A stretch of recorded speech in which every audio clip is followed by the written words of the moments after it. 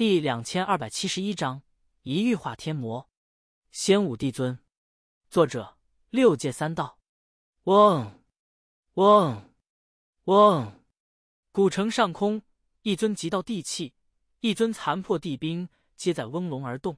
可怕的地道威压，碾得苍天轰隆，也压得城中生灵动弹不得。那那是圣体吗？下方那些未化天魔的人，皆艰难的扬手。怔怔望着叶辰，是他无疑。天魔又作乱，圣体必是来救援的。激动之声此起彼伏，到底杀不杀？议论声中，天智望向叶辰，只封不杀。叶辰说着，转身直奔他方。若是真的天魔，自是杀无赦。可问题是，这些个天魔皆是灵域人化作的，那就杀不得了。只需寻到擎天魔柱，而后。将擎天魔柱毁灭，断了天魔本源，那这些化天魔的人自会回归本来面目。只封不杀，天智皱眉。正当他疑惑时，叶辰的一缕神识飘了回来。他没时间解释，只得将各中缘由融入了神识中。天智读了神识，却神色骤变。化天魔，未及多想，他当即闭目，下一瞬又豁然开合，开了孔雀明王眼。闪烁着绚丽的五彩仙光，道韵浑然天成。孔雀明王眼的能力还是很霸道的，但凡被他看的天魔人身上都会蓦然绽放五彩仙光，那是一种封印仙法。待将天魔尽数封禁，他才俯首将天魔收入了法器中，对天魔只封不杀。他也走了，直奔另一方。临走前，还给城中人留了一语：对天魔。只封不杀，叶辰铿锵的话语也一路传向四海八荒。但凡听之者，也会无限传播。荒古圣体的话，在灵域还是很管用的。说话间，他飞入了一片山林。封，而后便闻他冷斥声，强势封了一尊天魔。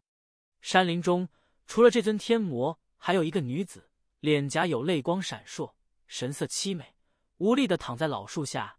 娇躯染满了鲜血，他元神已寂灭，魂飞魄散了。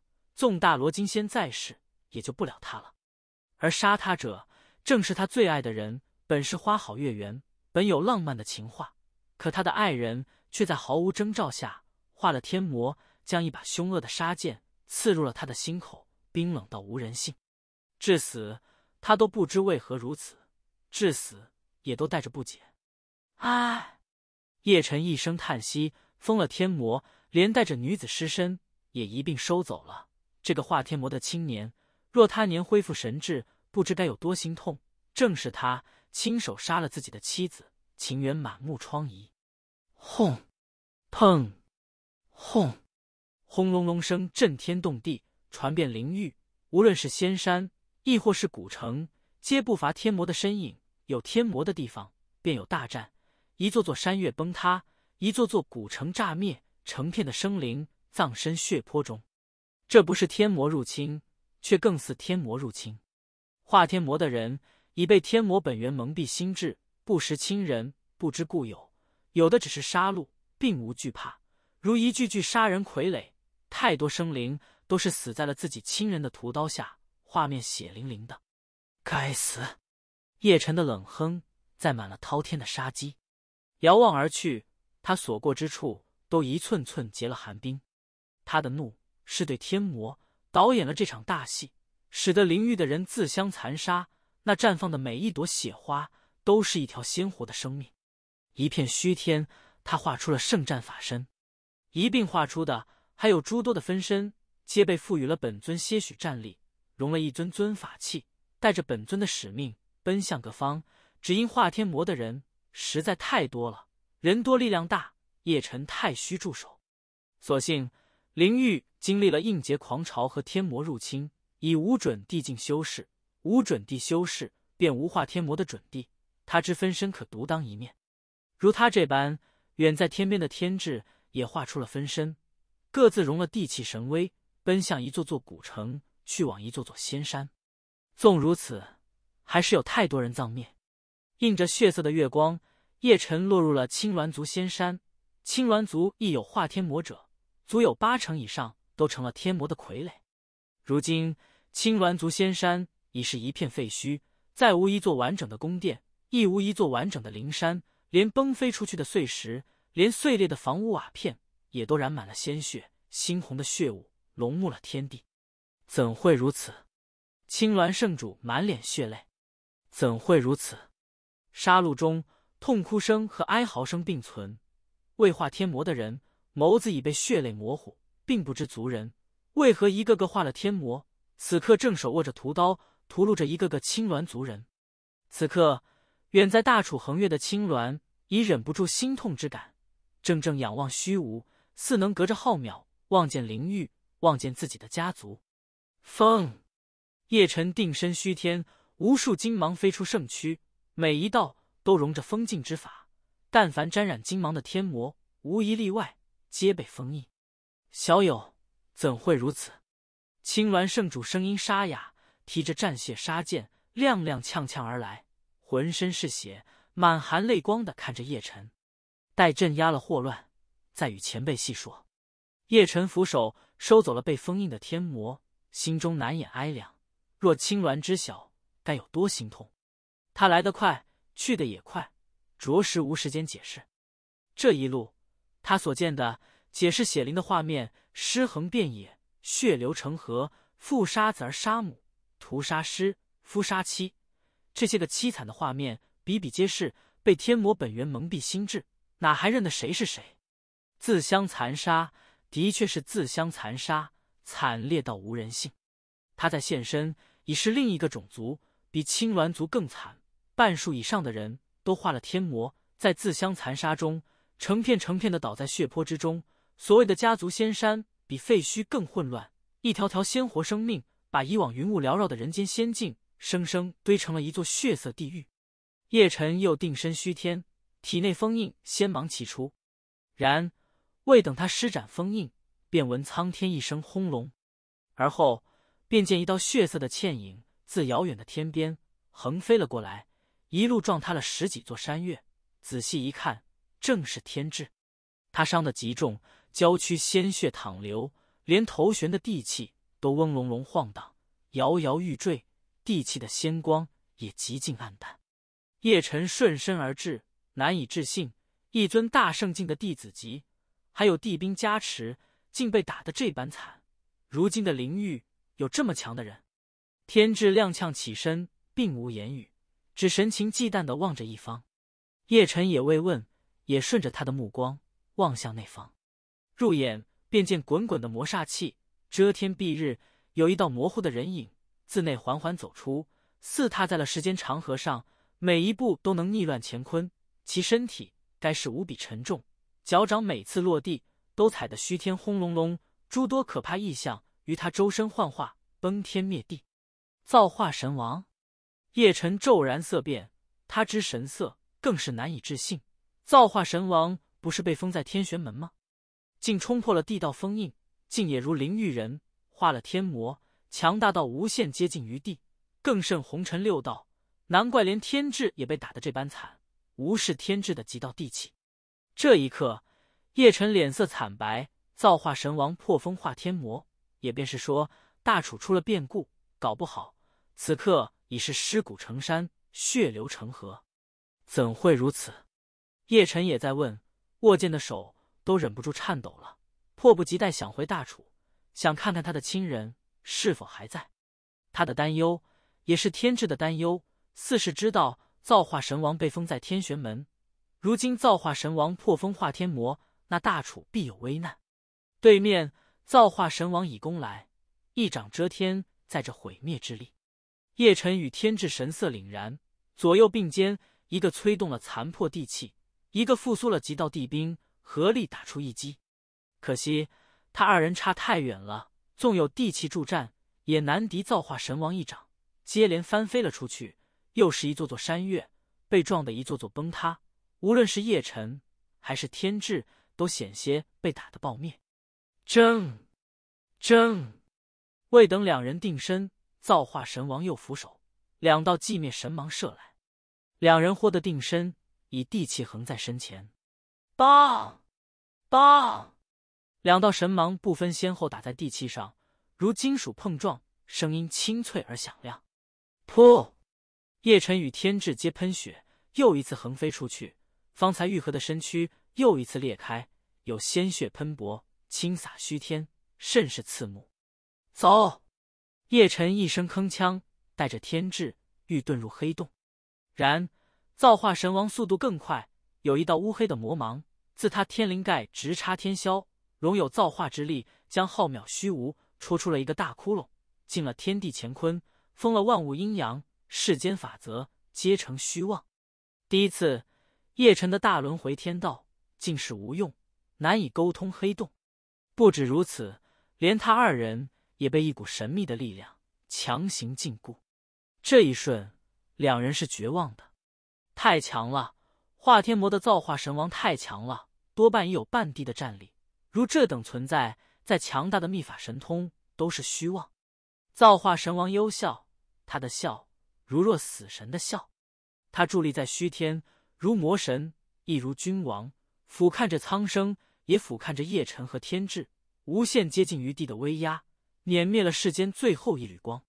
又一次，他抬了手，凌天按下，崩灭着天地。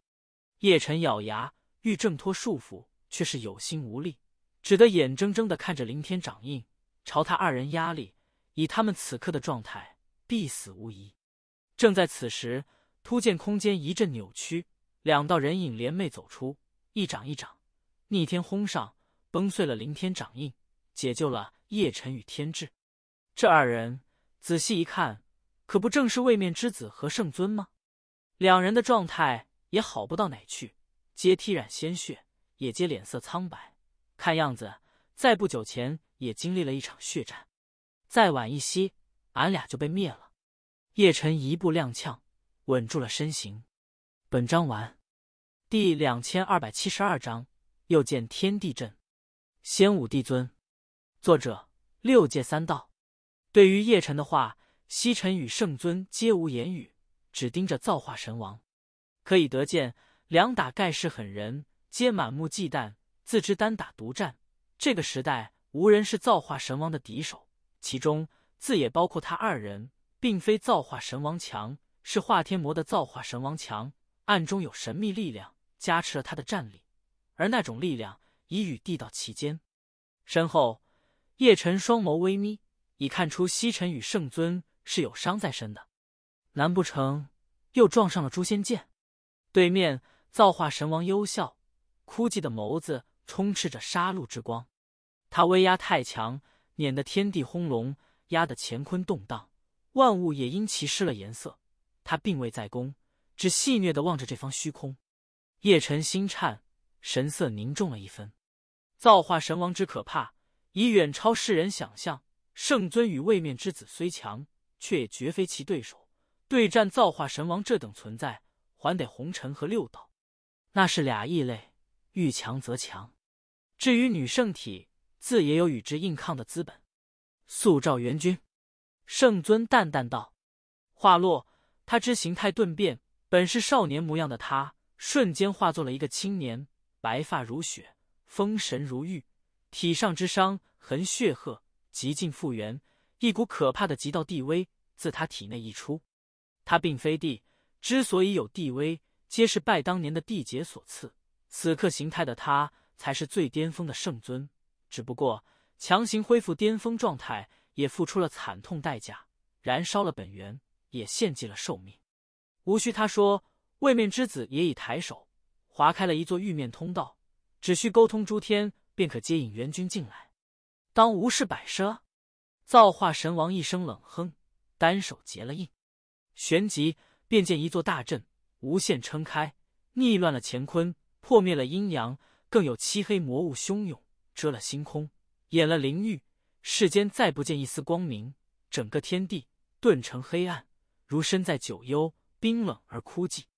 遮仙天地阵，叶辰骤然色变。身为大楚皇者，他自认的这等法阵，昔年天魔入侵诸天门，大楚便是被天地阵遮掩，才隔断了与诸天的联系。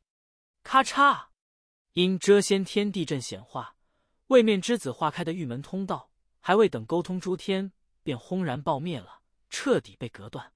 西尘脸色顿的沉下，着实小看化天魔的造化神王了，也着实小看灵玉了，竟藏着一座遮仙天地阵。这等级别的法阵，他并非不可突破，但前提是需足够的时间。很显然，对手不会给他机会。造化神王已锁定了他，而圣尊亦有他人锁定，那也是一尊可怕的存在，与造化神王哪一个级别，只是未曾现身罢了。要被团灭啊！圣尊神色也难看无比，以抬眸望向天，入眼便见虚无破开大洞，一根漆黑的魔柱自天笔直落下，砸得大地轰隆，处在了天地间。他。正是叶辰苦苦找寻擎天魔柱，也正如他所料，擎天魔柱并不完整，乃是残破的。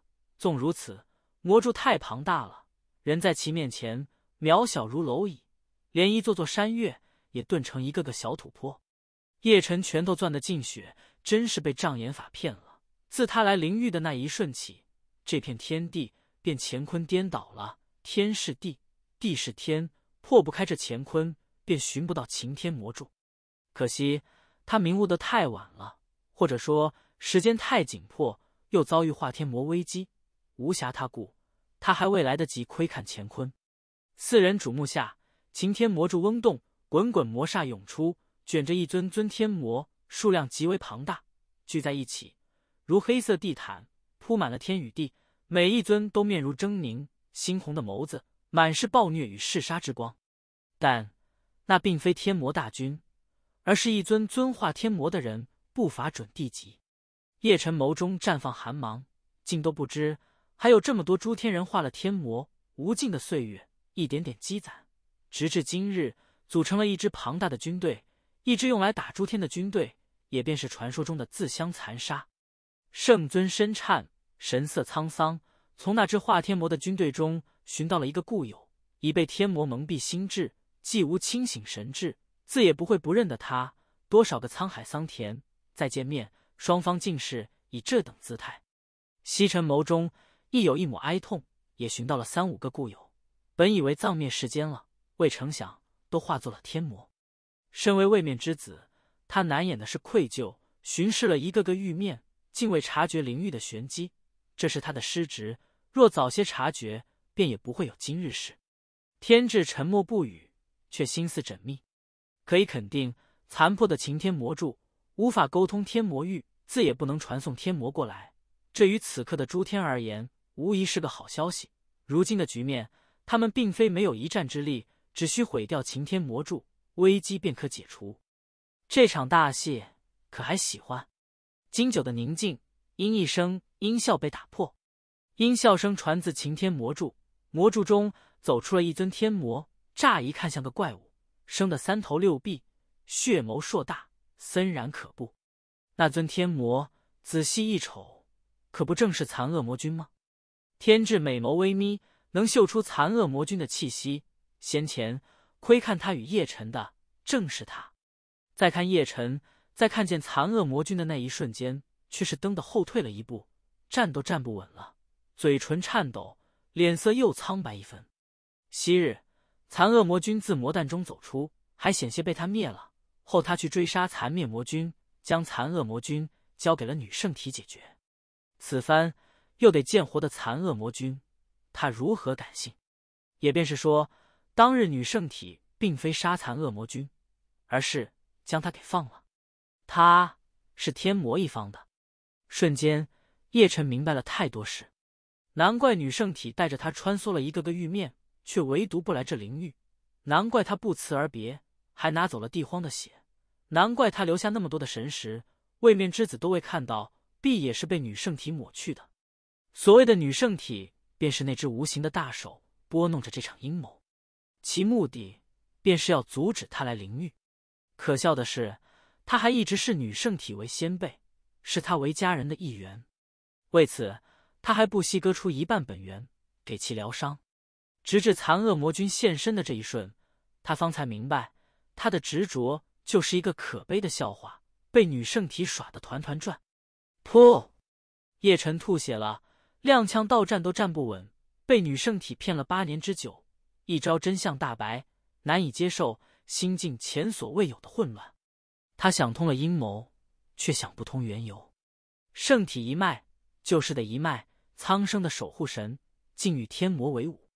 蓦然间，他侧了眸，望向了一方虚空，那里空间扭曲，有一倩影幻化，正是女圣体。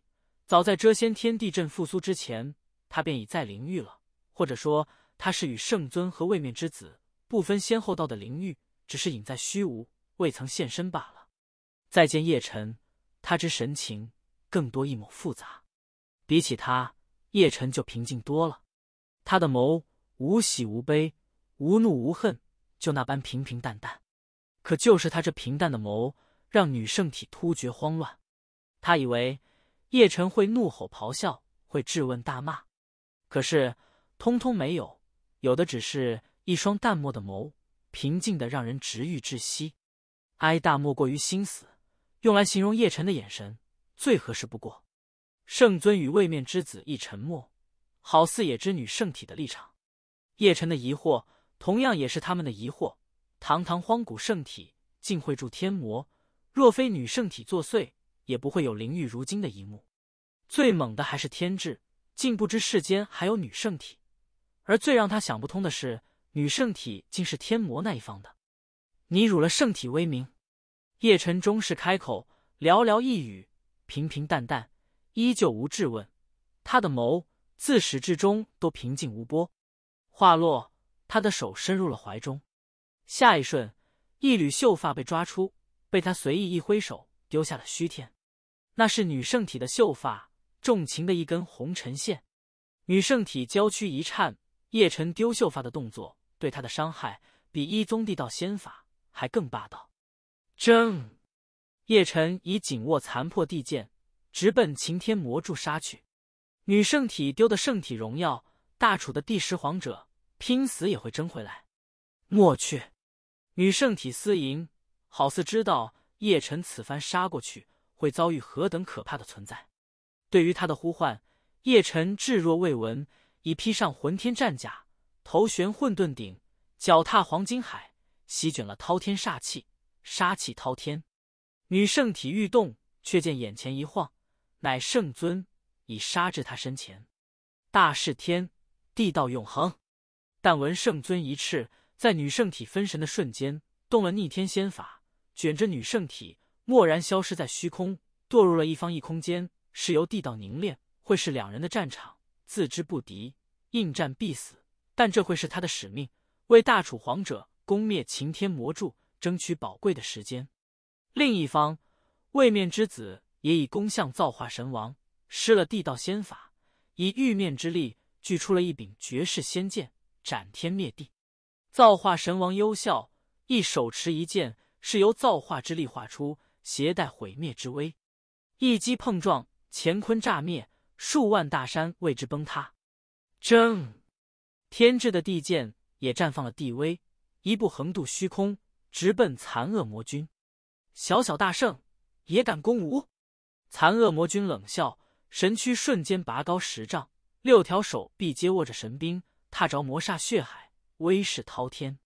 本章完，第两千二百七十三章。诸天备战，仙武帝尊。作者：六界三道。轰！砰！轰！幽暗的灵域，轰隆声震天动地。圣尊与女圣体体战于异空间，位面之子与造化神王杀上了虚无，天智与残恶魔君斗到了苍穹。三方大战，皆崩天裂地。可以得见，位面之子落了下风，不敌造化神王。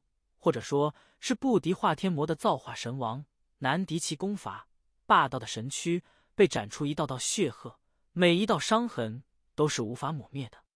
圣尊之境况也好不到哪去，曾险些封地，但他毕竟不是帝，仅是准帝巅峰，而女圣体亦是一尊巅峰准帝，无限接近大成，圣体同阶无敌，并非虚妄，曾一度打得圣尊神躯爆裂。还真如叶辰所想，如女圣体和造化神王这等人，还得是红尘和六道异类对异类，才是对等的旷世征伐。要知道，在特定情况下，红尘和六道随便拎出一个都是能徒弟的。啊！苍穹之上，嘶吼声不断。那是残恶魔君不止一次喋血。前不久牛逼哄哄的他，已被天智打得分不清东西南北。堂堂一尊魔君，竟被小小大圣压着打，怒到了发狂。事实证明，输出不能只靠吼叫的再响亮，也还是打不过大圣境的天智。货真价实的弟子级，有帝兵助威，以颇具少年女帝的绝代风姿，出手接地道仙法，攻伐无匹。位面之子与圣尊皆被压制，他这地道后裔也算是扳回了一城。第四方大战便是叶辰那里。大楚的第十皇者肩负着圣体荣耀，又是孤独的冲锋。杀！化天魔的人自不知荒古圣体，亦不知自己是谁。被天魔本源蒙蔽了心智，被当作杀人傀儡，铺天盖地的压向叶辰。俯瞰天地，那就是一片漆黑的汪洋，吞没着一寸寸天地。而叶辰在其面前，便如一粒沙尘，渺小到不可见。他未曾应战，也不可能杀化天魔的人，只需毁掉擎天魔柱，这些人皆可恢复正常。说到底，他们还是诸天的战力。然。他不下杀手，不代表化天魔的人不下杀手。神通秘术、法器秘宝无封顶的砸来，招招皆杀生大术。叶辰身如神芒，穿行期间避过一次次绝杀。他之目标极为明确，那便是天尽头的擎天魔柱。毁掉它，便是化解了这场浩劫。此番大战，明帝与帝荒尽收眼底，两大至尊盯着的还是擎天魔柱。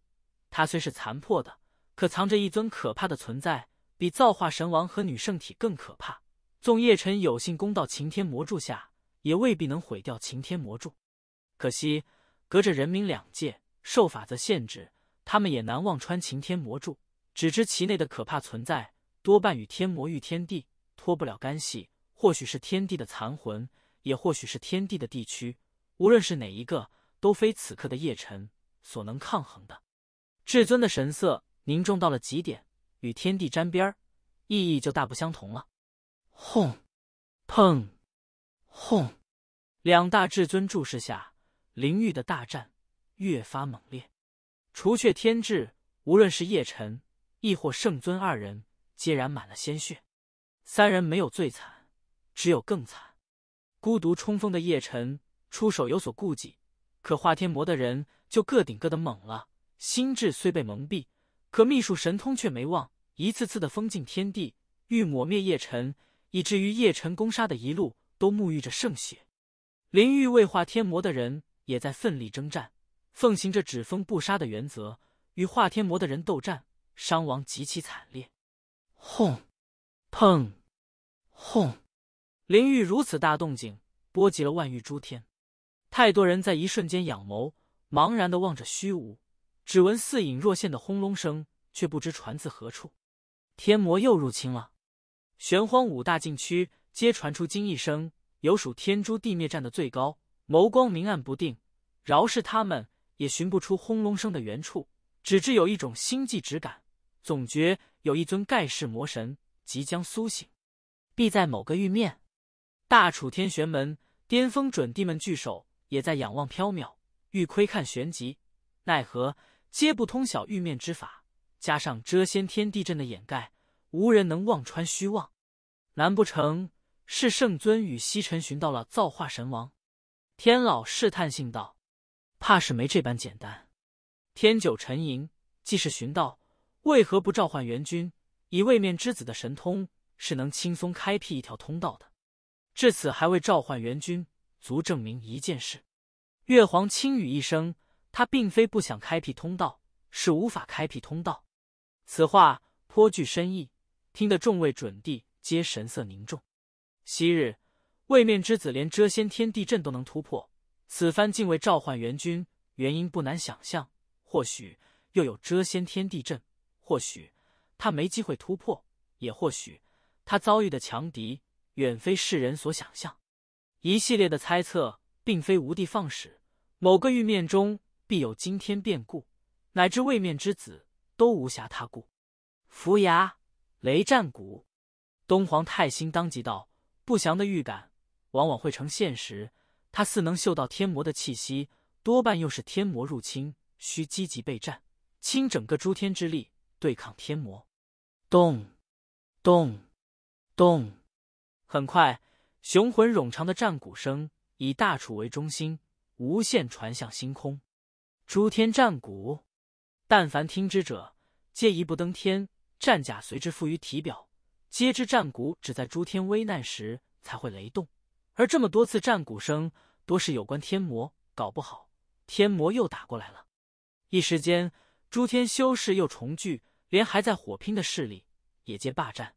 一声冷哼之后，直入星空。天魔才是大敌，自家恩怨皆放一边。浩大的画面，时隔八年岁月再次呈现，一道道人影划过星空，组成了一支支修士军队。严阵以待，若有天魔杀来，会毫不犹豫的奔赴战场。未见天魔，可大战即将到来的压抑之感已笼目整个诸天。苍生拥有滔天战意的同时，也难掩无奈。八年前的天魔入侵，诸天战得太惨烈，加之应劫狂潮的恶难，此刻的诸天比之当年更孱弱。能否挡下天魔的攻伐，还是个未知数。若此番还有天魔帝降临，诸天谁人去战？还会有第二尊炎帝地区，还会有第二尊炎帝之子。至于洪荒族，还是那般龟缩，哪有要参战的架势？非但没准备参战，还做好了看大戏的姿势。他娘的，打！比起洪荒，民风彪悍的大楚就亢奋无比了。听着诸天战鼓声，又都披上了昔日的铠甲。每逢这等大场面，总有那么些个人才处在虚空上。大呼小叫，嗓门个顶个的响亮，打不过不要紧，气势的有。别说这死皮赖脸的德行，已传承的炉火纯青。老爹，你在哪？玉女峰上空，叶灵抿嘴嘴唇，望看着虚无，又是浩劫将至，父亲依旧不在身边。父亲虽不在，可一众娘亲却无一人缺席，个个身着战衣，如一个个女将军，巾帼不让须眉。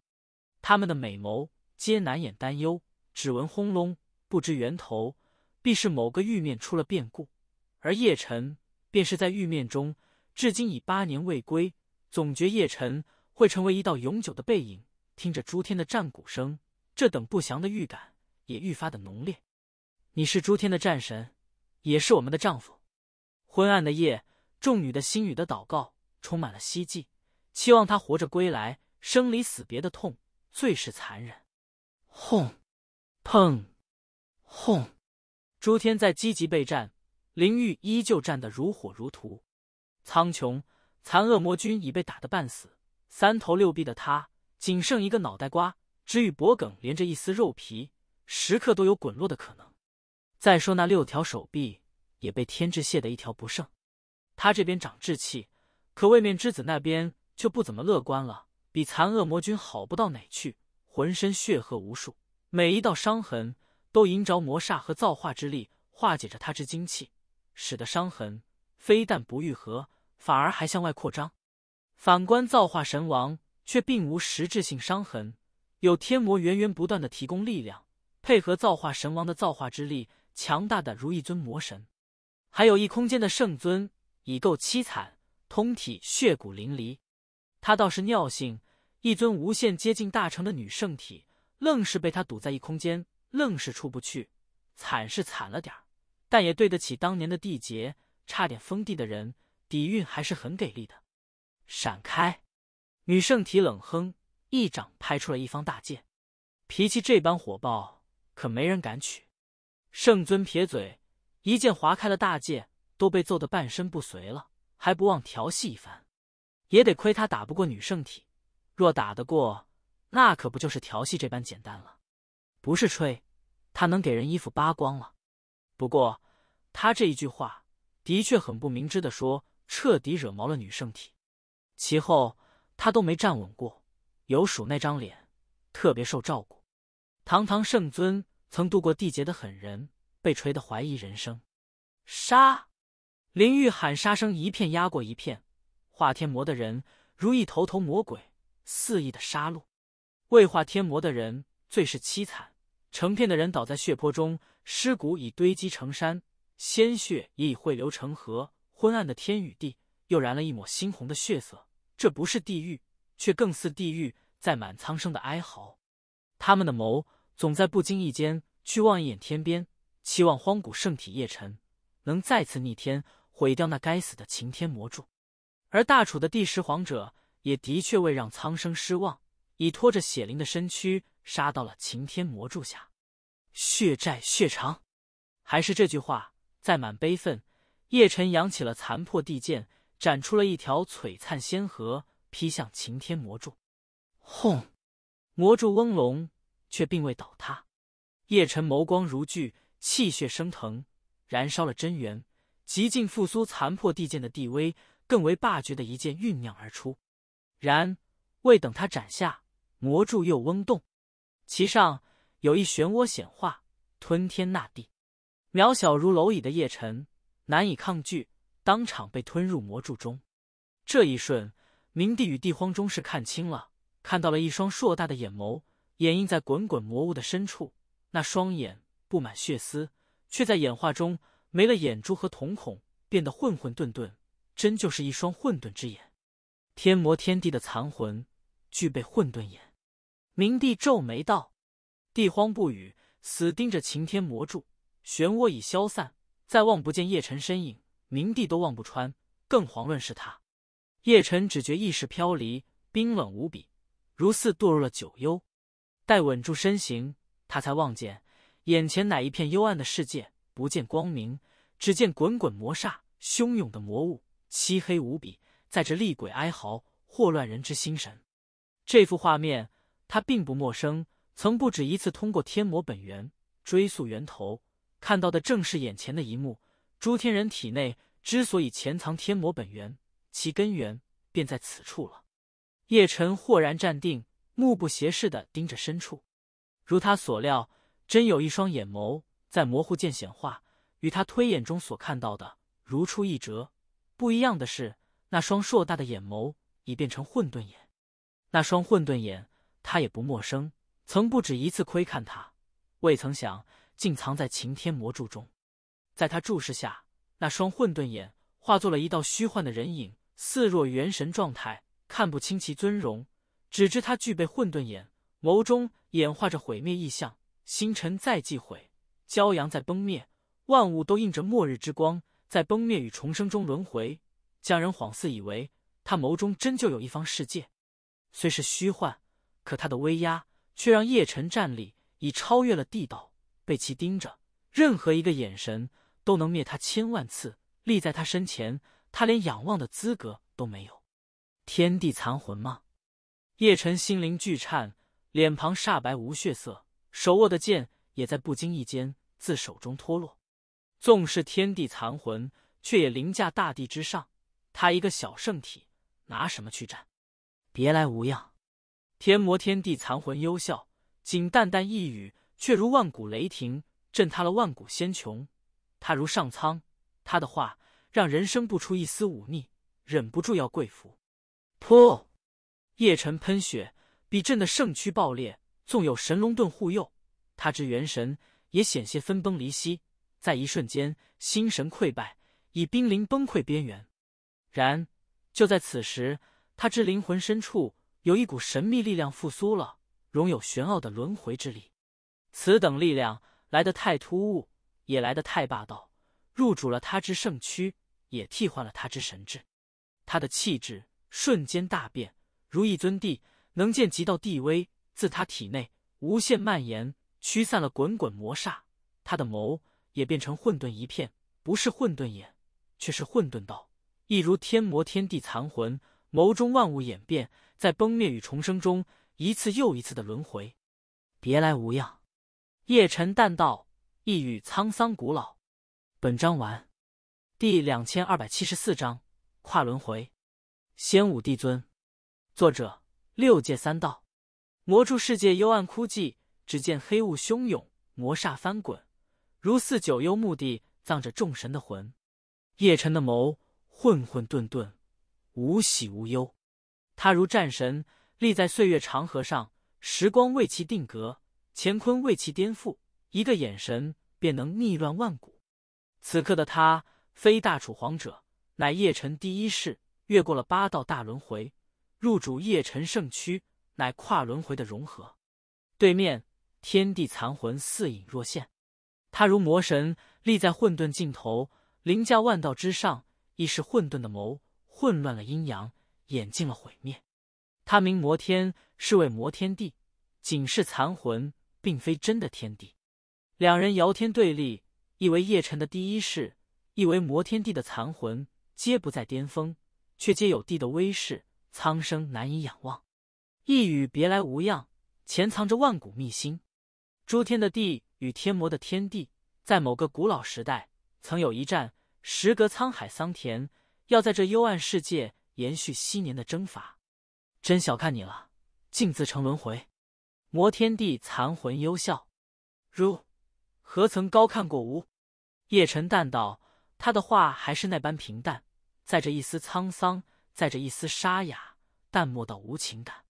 然正是这么一语平淡的话，却让摩天帝的面色多了一抹狰狞。只因此话，他曾在万古前听过一次，如今再次听闻，让他不觉忆起了古老事。他堂堂天魔域的天帝，却在一个小小大帝手中败得一塌糊涂，乃至无尽岁月。”于擎天魔柱中苟延残喘，天地威严荡然无存。必图你！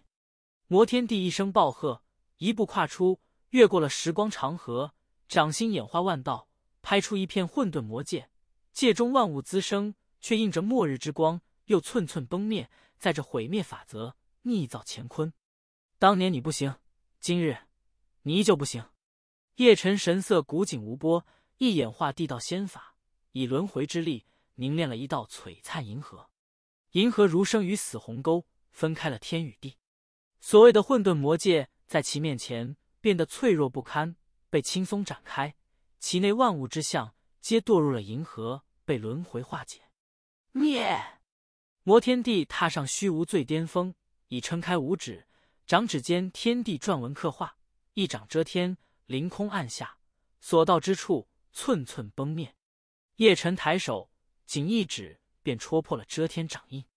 风，摩天帝冷赤，照了九十九根漆黑铜柱，贯穿了苍天大地，其上刻满了魔纹，由地道法则牵连，聚成了一座摩天大阵，困住了叶辰。有混沌魔力飞舞，专灭元神真身。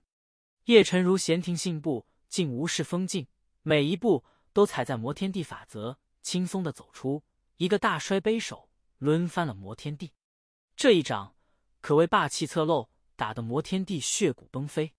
天地的残魂更多一抹狰狞，其身后有混沌魔光飞散，画出一尊万丈巨人，擎天般巨大，一手操战戈，一手握战矛，乃天地级外道魔像，缠绕着法则，垂落的一缕缕魔煞之气，都融着灭世之威，能瞬间碾死一尊巅峰准帝。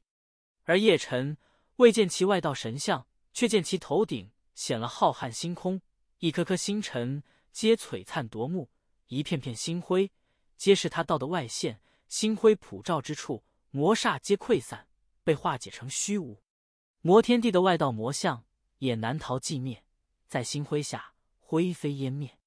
再瞧魔魔天地，已归于混沌，化成了一张遮天的鬼脸，扭曲不堪，时而阴笑，时而狰狞。时而暴虐，时而平静，那该是天地级的道法。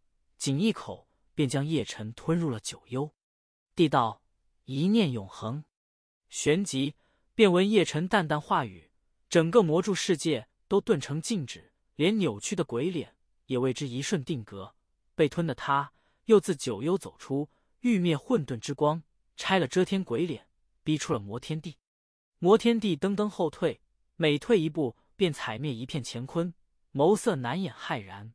自这一念永恒中，嗅到了一抹可怕的法则。而这等法则，纵魔天地本尊也未曾顿悟过。砰！未等其定身，叶辰便已踏灭法则杀至，一掌平淡无奇，却融了混沌万道，刻了九道大轮回之力，堪称毁天灭地。噗！魔天地喋血，魔身炸裂。横翻虚无八万里，八万里外，他豁得定身，踩得虚无轰隆，连口气儿都未来得及喘。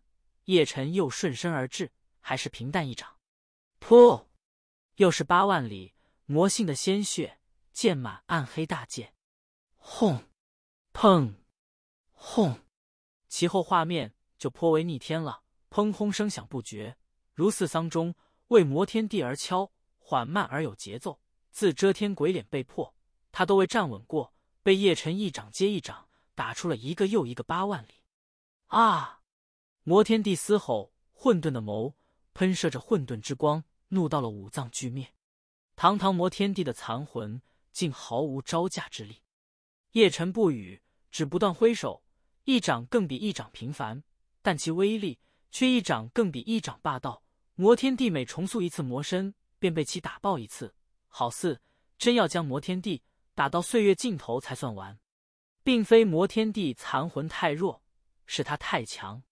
万古前无缺的摩天帝都非他对手，更遑论是残魂。林家万道又如何？堪比大帝又怎样？吾也是帝，容了九道大轮回的帝，纵摩天地本尊清灵一样照灭，仅一道残魂，谁给你的信念？这便是叶辰的第一世，在某个古老年代，曾跨地道征伐，以大地之身逆天屠灭了一尊天帝。万古的今日，他跨轮回而来，依旧威震寰宇。轰！砰！轰！幽暗的魔柱世界，轰隆声延续。自外去看，擎天魔柱嗡隆晃动，多处已显化裂痕，仿佛下一瞬便会崩裂。无人知晓其内有何变故。只知灵域在动荡，只知万域皆遭波及，脆弱的玉面崩灭一个又一个，诸天的星空也嗡隆，一颗颗星辰在毫无征兆下，一颗接一颗的炸灭。聚集的诸天修士又一次仰眸，顿觉心灵战栗。此刻纵巅峰准地，也止不住心颤，怔怔望着缥缈虚无，只觉有两尊神在大战，而他们连观战的资格都没有。这等感觉。好生熟悉，天九难道体内战血在沸腾？苍木的神将恍似又重现生机，磅礴气血汹涌。这动静未免太大了。魁牛皇紧皱眉头，地道征伐吗？月皇喃喃自语，也倍感心悸。诸天备战，苍生聚首，却也是仰眸的姿势。世人依旧不知轰隆出自何处，任何一个玉面皆有可能。也并不知入侵者究竟会从哪宫进来，诸天修士茫然，洪荒族也一头雾水。洪荒各族已集聚了极道地兵，以古老仙法窥看。遗憾的是，啥也没瞅着，还把一众地气反噬的翁龙巨颤。噗！魔柱世界中，魔天帝又一次被打爆。此刻的他怎一个惨字了得？已被叶辰一路打到岁月边荒。魔身不止一次炸灭，已不见了人形。第一次，叶辰停手了。他知极道地威略显不稳了，或者说是轮回出了问题。自跨轮回征伐的那一瞬，便出了无上禁忌。此刻反噬已到，冥冥中有一股神秘力量正迫使他归寂。地道的战力也随之一落千丈，跌下了巅峰。他的停手，使得魔天帝有了喘息的机会。岁月的尽头，咬牙切齿的他又重塑魔身。叶辰战力大跌，但他威势却在攀升。眉心多了一道天地魔纹，似充满无穷神力，源源不断的提供给他。叶辰眉宇微皱，一眼洞悉了玄机。如今的魔天地残魂，其状态与他颇为相像。他跨了轮回，而魔天地残魂却跨了生死，极尽复苏着魔天地本尊的魔力。这等感觉着实美妙。摩天帝残魂幽笑，神态惬意，贪婪的嗅着魔气。本尊的魔力正通过生死传输给他，恍似此刻的他并非残魂，就是本尊。此消彼长，他之威压已隐隐压过叶辰。对此，叶辰神情并无太大波动，以轮回之力压制轮回反噬，还在骤降的地道战力。被生生稳住，必屠你！摩天帝狰狞一笑，踏天而来，似无挥霍着源源不断的魔力，聚出了天地神兵，乃一柄魔剑，是由魔天帝的地道所化，携毁灭之威，隔着浩渺虚无，斩向了叶辰。叶辰施道法，以己身之道融合叶辰之道，演化出一尊大鼎，其形酷似混沌鼎，却比混沌鼎更玄奥。鼎中造化万物，孕育万道，万物万道合一，聚为一道，是为人间道。当天地神兵与大鼎碰撞，有寂灭光晕无限蔓延，荡灭了乾坤。咔嚓，金属碎裂声颇是清脆。天地神兵炸裂，天地道回归天地。叶辰演化的大鼎也轰然崩碎，地道归于轮回。道与道的争雄，两人平分秋色。皆被震得后退半步。杀！摩天帝嘶喝，撑开了万道魔土，欲将叶辰屠灭。叶辰无言语，一开法相，以混沌界意象硬抗万道魔土。轰！伴着一声轰隆，大战再起。二者一如魔神，一如战神，一个跨轮回，一个跨生死，延续着万古前的一战，是地与地的征伐，斗得崩天灭地。本章完，第两千二百七十五章，莫太乐观。仙武帝尊，作者六界三道。轰，砰，轰，轰隆声，震动更大，万域诸天都在摇晃。望此灵域画面，明帝与帝荒对视了一眼，好似都从对方眸中寻到了想要的答案，无需去看便知端倪，并非叶辰再战，是叶辰的第一世再战。可惜，纵两大至尊之眼界，也难望穿魔柱。若人在灵域，自能看得清；奈何在冥界，有冥冥法则限制，不能亲眼见证那场旷世的征伐。于他二人而言，该是遗憾。吾对那人有绝对的自信。明帝深吸一口气，看样子已无需我回诸天了。帝荒笑道：“莫太乐观。”明帝悠悠道：“望自跨轮回。”纵是无上的地，也难逃天地浩荡。那等反噬将是毁灭性的。汝是说他会死？他早就死了。三两语简单的对白，两大至尊皆沉默，皆死死盯着灵玉。仔细您看那昏暗的天地，竟有一抹七彩仙光滑天而来，乃是一把仙剑，一把七彩的仙剑飞入了擎天魔柱中。没错，诛仙剑来了。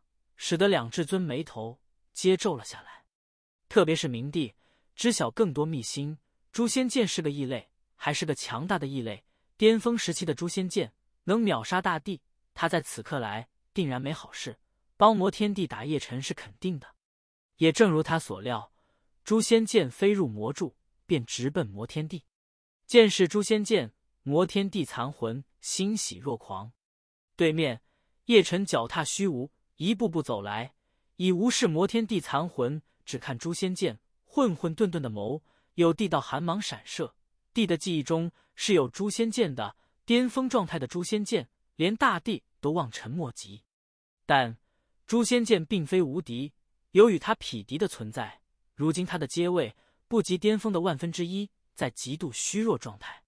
蓦然间，叶辰抬了手，探向一方，而后。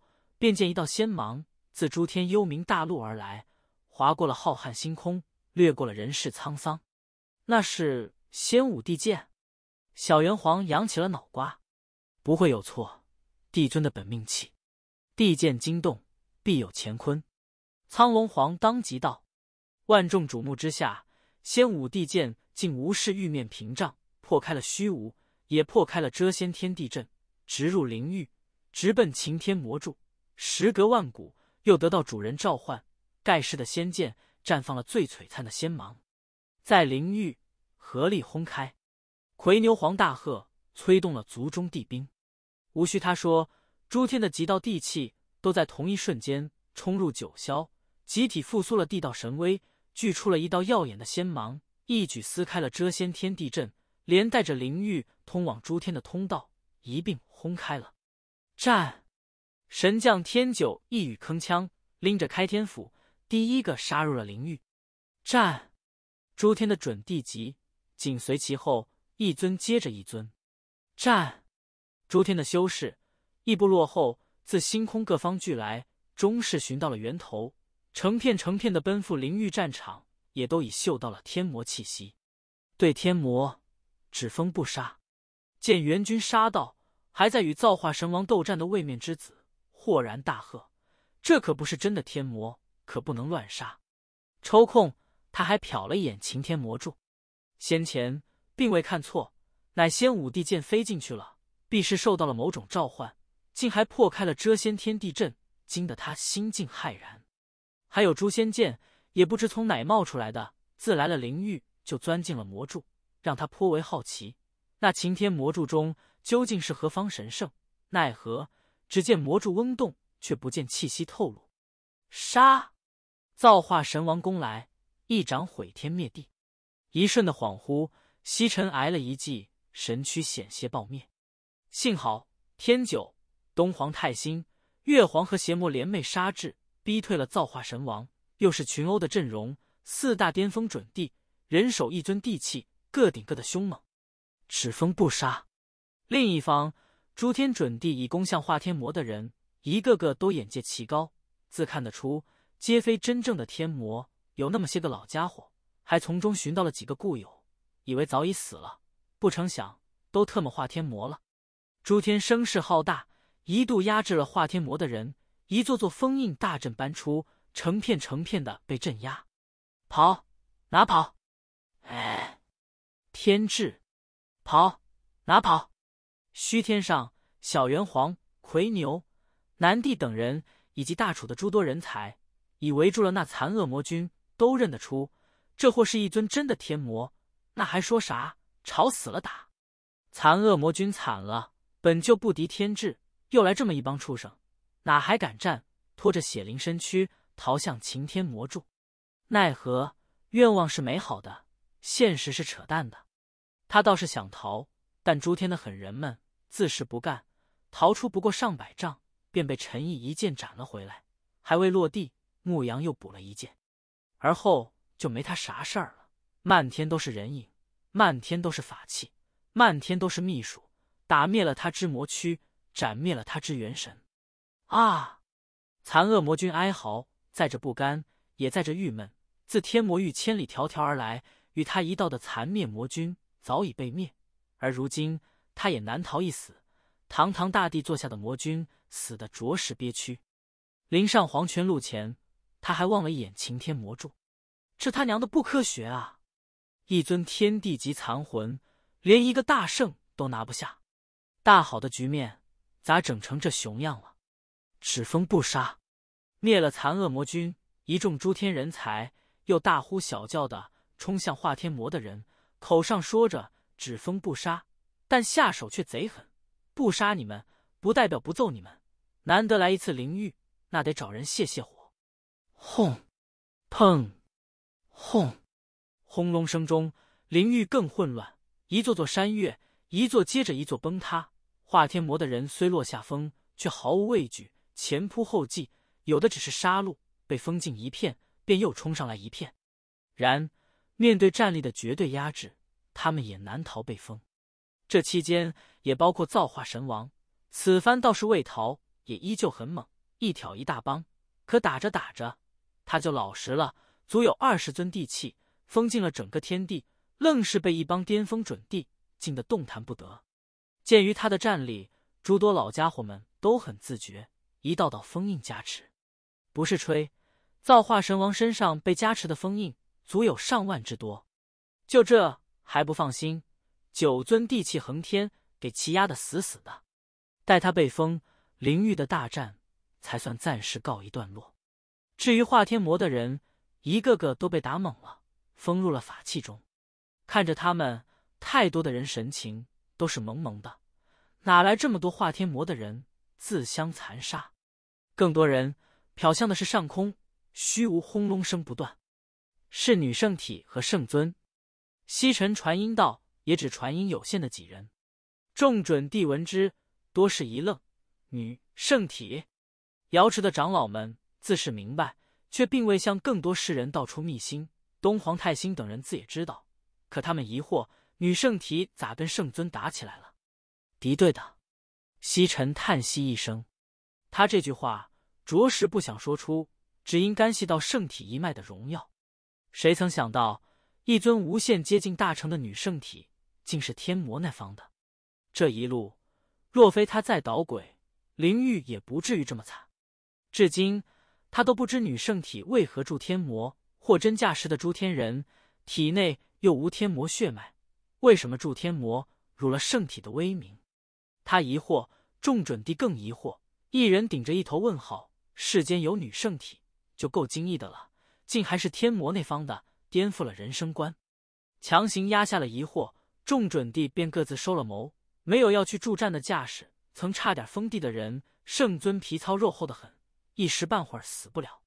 再说了，那是地道空间，寻不到入口，谁都进不去。比起圣尊，诸天修士更关注擎天魔柱。如潮如海的诸天修士，自四面八方围向擎天魔柱，皆是明眼人都知那是残破的擎天魔柱。不然，为何只有化天魔的人，而没有真正的天魔大军？轰！砰！诸天修士围来时，魔柱还在嗡动，轰隆声响频频不断，一瞧便知其内有大战，而且动静还不小。先前万域皆颤，多半是因这魔柱。此刻。距离魔柱越近，世人心灵越战栗，极为确定魔柱中的存在绝对的可怕。瞅啥？轰灭他，还是魁牛皇复苏了地气？轰你妹！位面之子咳了一口鲜血，叶辰在里面。一句叶辰，楚轩、楚林他们皆心弦一紧，各自踏着虚空，直奔擎天魔柱，要杀进去助战。不止他们，在场的准地级。也都跨越而来，一个个都拎着地气。然，他们方才踏入魔柱方圆万丈内，擎天魔柱又嗡动了，一层漆黑的光晕蔓延而来。围上去的人，无论是楚轩、楚灵他们，亦或一众老准帝，无一例外，皆被震翻了出去。嗡，嗡，魔柱嗡动的更厉害，一层层光晕蔓延，所过之处，碾得空间寸寸崩裂。周围仅存的几座山峰也被夷为平地，寂灭光晕太强，修为弱的人当场肉身爆灭。退！一宗老祖嘶喝，喝令修为未到家的人撤退。再来几层光晕，损失会更惨重。而有地气的势力也撑开了地冰，护住了四方。所有人的目光都盯着魔柱，神色难掩担忧，悔又悔不得，进又进不去。本章完。第两千二百七十六章，速速出来！仙武帝尊，作者六界三道。嗡，嗡，嗡！天魔柱擎天立地，乌芒四射，掩映在魔雾中，滚滚魔煞肆虐，嗡隆之声携着乱世魔音，祸乱苍生心神。诸天修士以魔柱为中心，占满了四方苍天，立满了八方大地，如一片黑幕。遮了世间最后一丝光明，这也太大了！太多人仰首遥望着魔柱，暗自吞着口水。几次天魔入侵，第一次距离魔柱这么近，才知自己的渺小。在擎天魔柱面前，任何人都如一粒沙尘。这若抡过来，无人挡得住吧？难以想象，如这等魔柱，圣体当年是用头颅给撞碎的。更多人喃喃，心境在打战。乃是对叶辰的敬畏。荒古圣体性情刚烈，纵只剩残躯，却依旧敢硬撞擎天魔柱。嗡，嗡，嗡！世人骇然声中，擎天魔柱又嗡动，暴虐力量汹涌，更多寂灭光晕，一层接一层蔓延开来，破碎空间一次次愈合，又一次次被碾得崩塌，整个天地都因其晃晃荡荡。诸天修士一退再退，十几尊地气。悬于高空上，极道神威垂落，撑开了守护结界，护住了诸天的修士。那一层层光晕，充斥着毁灭之力。莫说大圣，纵是准地级，都不敢妄自上前。轻则肉身爆裂，重则魂飞魄散。如此强大的波动，地道征伐吗？玄武皇神色怔怔，遥望魔柱，喃喃自语。身为巅峰准地，也忍不住心灵战栗。巅峰级准地们。皆心知肚明，动静如此之大，必是地道征伐，也指地道强者才能给其这等可怕的威压。也便是说，那擎天魔柱中有一尊天魔帝，叶辰在与帝战。这魔柱所属哪个时代？众弟子眸光明暗不定，传承的记忆中并无灵域秘辛，自也不知灵域玄机。有一事颇为想不通。听闻圣体昔年曾在灵域屠过一尊帝躯，那此刻魔柱中的天魔帝，在当年为何不杀出来助战？一天魔帝躯加一尊天魔帝，足能灭杀叶辰。天晓得，天魔从来不按常理出牌。吾在想，昔日入侵大楚的天魔帝，以及八年前自冰域攻入的残叶魔帝，是否知晓灵域有魔柱与地区？说句废话，或许知晓，或许不知。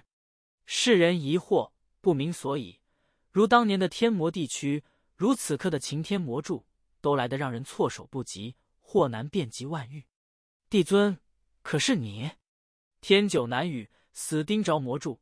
帝尊的法器自行跑来灵域，强迫遮仙天地阵，必有人召唤。确定诛仙剑也来了？月皇侧眸望看西尘，是他无疑。位面之子点头，语气颇为肯定。缓缓道：“诛仙剑前脚刚到，仙武帝见后脚便跟了进去。提及诛仙剑，众准帝的神情皆凝重一分。那该死的诛仙剑太强也太诡异，无尽岁月不知造了多少血劫。叶辰，速速出来！东皇太心不止一次传音：叶辰，速速出来！大楚准帝也在呼唤。天魔不止有帝，更有诛仙剑，此阵容太强。”独占非明之之举，在场巅峰准帝不在少数，亦有帝兵助威，总好过他一人单挑。可惜众人神识还未到魔柱，便被寂灭光晕给抹灭了。擎天魔柱太诡异，恍似一方结界，隔绝了世间任何传音、任何话语、任何神识都难传进去。出来！楚轩紧绷着娇躯，玉手已攥得泛白。其他众女也差不多，惨白的脸颊，毫无血色，连语气都是颤抖的。叶灵最害怕，眸中含满水雾，身子抑制不住的颤。可他们的呼唤也注定到不了擎天魔柱，能群殴的坚决不单挑，逞啥英雄？再不出来，俺们可泡你媳妇了。如谢云、熊二、小元皇、奎牛那帮人才又在大呼小叫，那嗓门。依旧不负众望的响亮，一眼望去，一个个上蹿下跳，骂骂咧咧的。若非局面不合时宜，不然多半已组队去聊叶晨媳妇了。这等事，他们隔三差五就会干一次。轰，砰，轰，轰隆声在继续，不止传自魔柱，还传自虚无。地道一空间中，女圣体与圣尊还在战，血染了乾坤。不可否认。这是一个极好的讽刺。一尊无限接近大成的女圣体，竟与天魔为伍，辱了圣体的威名；而一个大圣境的小圣体，却在与天魔斗，自尽了擎天魔柱，便没打算活着出来。不仅为战死的阴魂，也为历代圣体先辈他们的荣耀，后世圣体拼死也要争回来。如此境况，世人是感慨的。这个时代当真不凡，竟有三尊荒古圣体，一尊大圣境。一尊准帝巅峰，一尊准帝圆满，两尊男圣体，一尊女圣体。这等盛况，纵观诸天的历史，从未有过。如此阵容，若都能问鼎大成，堪比三尊大帝。有他们镇守诸天，何惧洪荒族？又何惧天魔域？奈何事与愿违。这三尊圣体，一尊敌对苍生，一尊在魔柱中死战。至于大成圣体地荒，却是回不来诸天。轰！蓦然间，轰隆响彻九霄，苍空破开了大洞，而后便见一道血灵人影自那大洞中跌出。仔细一看，正是圣尊，通体血骨淋漓，怎一个惨字了得！带回灵域，待见诸天阵容，圣尊一口气没上来，当场喷血。你妹的！遮仙天地阵何时被破的？诸天元君又是何时到的？早知元君已杀到，那还打个毛线？差点被灭了。很快，便是女圣体也自异空间杀出。比起圣尊，他就好太多了。圣体同阶无敌，圣尊也不是对手。镇压他！位面之子冷哼，第一个杀来。难掩滔天怒火。若非这女圣体从中作祟，灵域何止这般凄惨？无需他说，在场的巅峰准帝也已欲动地兵，女圣体方才现身，便被围了，被一众地气压得身形趔趄。其后画面便不难想象了。女圣体虽强，独战无人是敌手，却也难挡众准帝攻伐，一个照面便被镇压。见状，诸天的人才们也不再大骂，纷纷聚来。亦有众多老家伙，三五成群，把女圣体围了里三圈外三圈，各自捋胡须，上下扫量，眼神颇是好奇。只见过男圣体，还是第一次见母的。小圆皇摸着下巴，绕着女圣体转起了圈儿，火眼金睛，锃光瓦亮。这小娘子长得真俊，弄到床上必定很有活力。俺喜欢有活力的。大楚特产，了解一下。众人猜你一言我一语，跟看猴似的，把女圣体围了个顶透。有那么几个还想给人衣服扒了，仔细研究研究。诸天万域独此一个国宝级的人物，不好奇才怪。要不咋说是叶辰的好兄弟，个顶个的不靠谱。叶辰还在战，不知是死是活。可他们倒好，跑这来研究女人了。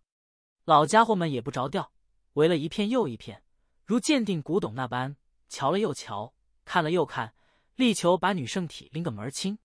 对此，女圣体置若未闻，也未挣扎，更无大骂，只看擎天魔柱，仿佛能隔着缥缈望见魔柱中染血的叶辰。他的美眸清澈似水，朦朦胧胧的，那一瞬一瞬恍惚中，难掩复杂和担忧，好似知道魔柱中有什么，乃天地级的残魂，堪比一尊大帝，甚至比大帝强者还更可怕。东皇太心不语，只今看女圣体。至今他都不知缘由，一尊荒古圣体为何要助天魔？他的疑问也正是世人的疑问，实在想不出原因。众准帝并未问，此刻也并非审问的时候。鉴于女圣体太强，更多封印加持，以免再出变故。P.S. 抱歉，家里出点事，更新晚了。书友们的留言，我会尽快回复。本章完，第两千二百七十七章《摩天血迹》，仙武帝尊，作者六界三道。嗡嗡嗡！万众瞩目下，擎天魔柱又嗡动，寂灭光晕蔓延，更甚先前，碾塌了四方天地，连高悬虚天的几道地气也嗡嗡巨颤，撑不住庞大波动，致使诸天的修士又集体后撤，能得见。魔柱显现了一道道裂纹，每一道裂缝中都有魔煞流溢，都有地威迸射，给虚无戳出一个个大洞。也是自那一道道裂缝中，世人能恍惚望见一幅幅模糊的画面。那是一尊战神在与一尊魔神大战，斗的是天崩地裂，仅仅看着都觉心颤。巅峰准地踏入，也会瞬间崩灭成灰。诸天修士脸色惨白，难以想象叶辰。遭遇的是何种对手？虽不知他为何有斗帝的战力，但却知那尊天魔的玉大帝极为可怕，更有诛仙剑助威，一次次斩翻叶辰。速速出来！众准帝神色难看，一次次的呼唤，欲让叶辰出魔柱。可惜叶辰注定听不到。去看魔柱世界，斗战可谓毁天灭地。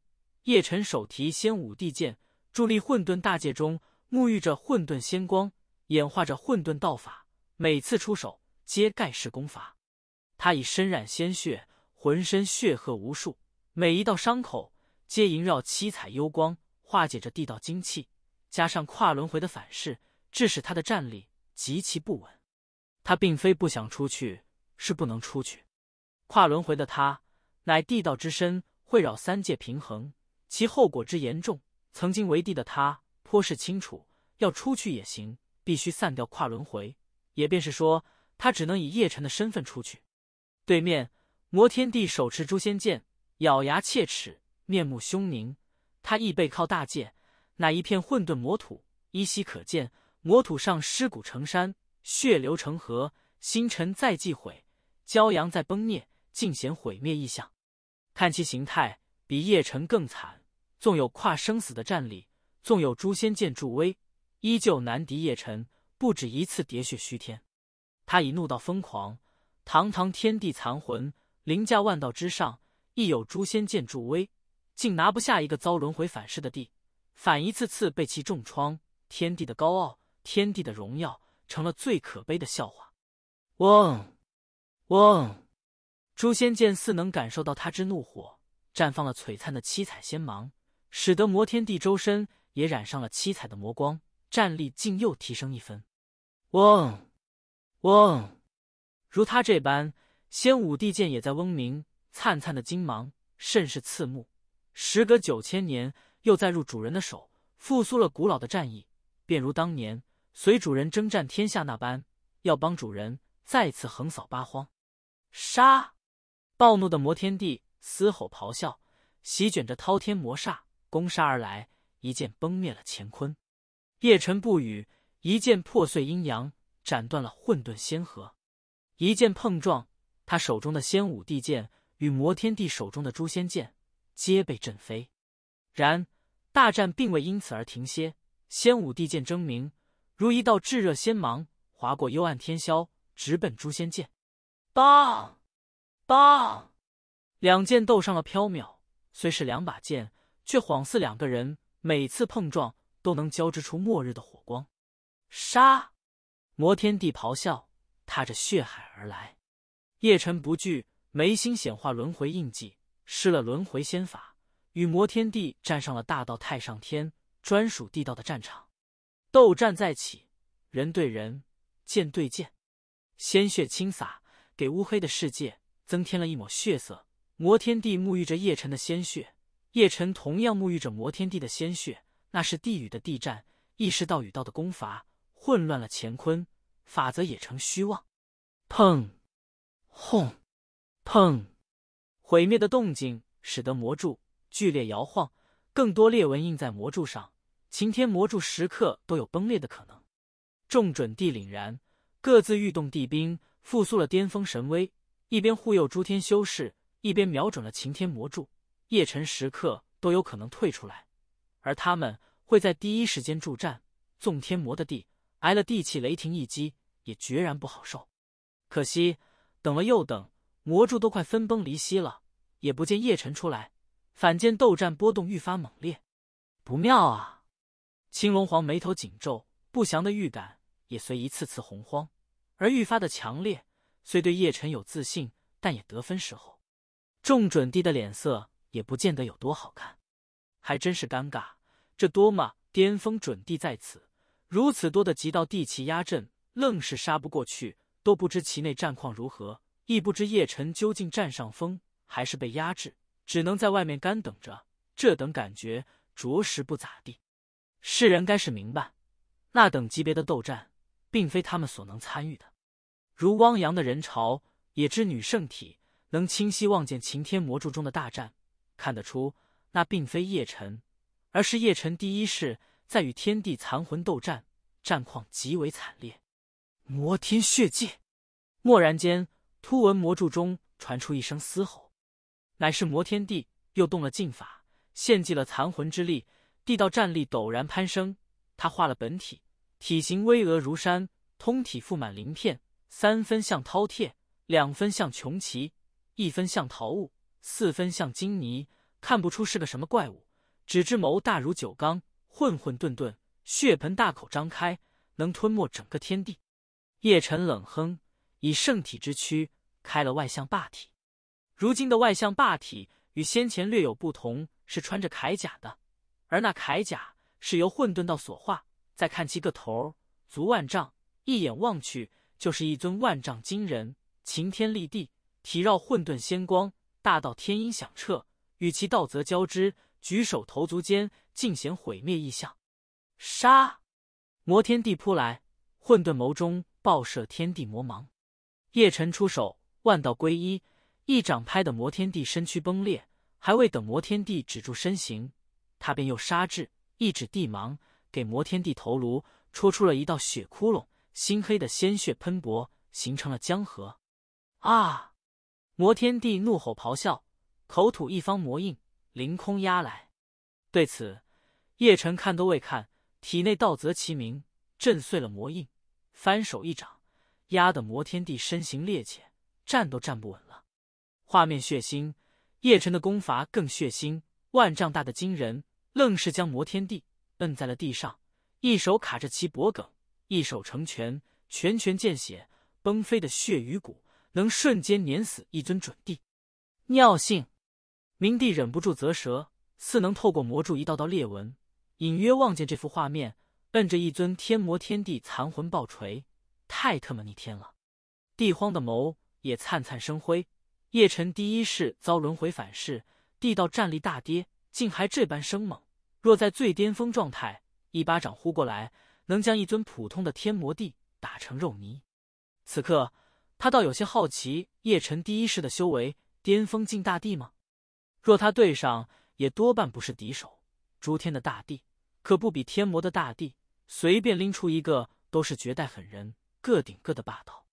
再瞧魔天帝，就无比尴尬了。自被叶辰摁呐，都未站起来过。每每欲起身，着实有心无力。天地的残魂，霸道的本体，被叶辰一拳接一拳打得溃散。这一幕，他该是熟悉了。在万古前的某个时代，魔天帝的本尊也是被叶辰第一世这般压着打。天地超脱万道，却也被锤得怀疑人生。当年有那么几个瞬间，魔天帝本尊还恍以为。他是一个大帝，而叶辰第一世才是那个天帝，一个大境界压制，愣被打得找不着北。争见魔天帝被爆锤，诛仙剑嗡鸣，欲杀来解救。仙武帝剑自是不干，将其死死堵在虚无。他是一把不凡的帝剑，拥有极高的灵智，比主人更疯狂，只攻不守。曾一度劈的诛仙剑接连横翻，着实给主人长士气。见他大展神威，叶辰的混沌鼎也跑了出来。其后，凌霄铁棍、残破地剑，乃至那座白玉龙椅，也都杀出助战了。四者倒是默契，堵住了东西南北四方，板板整整的群殴阵容，都不知哪来的火气，一个比一个生猛。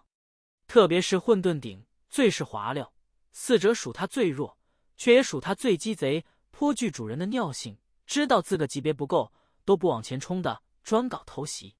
诛仙剑每次被压制，他都会神出鬼没的杀到，庞大的鼎身砸一下，扭头就跑，跑了还来，来了还砸，一把主人打一枪，换一个地方的打法，用的炉火纯青。魔天地凄惨，诛仙剑更惨，本是璀璨的七彩仙光，湮灭一次又一次，那是受伤的写照。他是强大，却也挡不住四者围攻。不得不说。他还是很硬的，无论是混沌大鼎和仙武帝剑，还是凌霄铁棍和白玉龙椅，都被劈出一道道剑痕。但这丝毫不妨碍他们群殴，一路压着诛仙剑打。明帝又看得啧舌，他是大帝，最知诛仙剑可怕，巅峰时期能秒大帝的，此番竟被几个小喽啰暴揍，他主人若知晓，不晓得会是啥个表情。他在看诛仙剑，帝荒在看叶辰。摩天帝此刻已非本体状态，已归于人形，却也不见了人形。好好的一双混沌眼，愣是被叶辰戳成了俩血窟窿。帝荒深吸一口气，神色意味深长。也得亏是叶辰第一世再战，不屑用阴招。若给叶辰这等战力，必定打得更骚。不给你浑身零件拆完，就不算完的那种。本章完。第两千二百七十八章天地灭。仙武帝尊，作者六界三道。昏暗的魔柱世界混乱不堪，哪还有法则？哪还有乾坤？整个已成一片混沌，电闪雷鸣，混沌之光肆虐。噗！缥缈之上，魔天地又喋血，魔躯炸裂。未等其重塑魔身，叶辰便杀到了，一掌拍出，打得魔天地横飞八万里。画面又与先前惊人的相似。叶辰一掌接一掌，一掌更比一掌猛，打出了一个个八万里。魔天帝的血溅满魔柱世界，啊！魔天帝怒到发狂，站都站不稳的心情可想而知。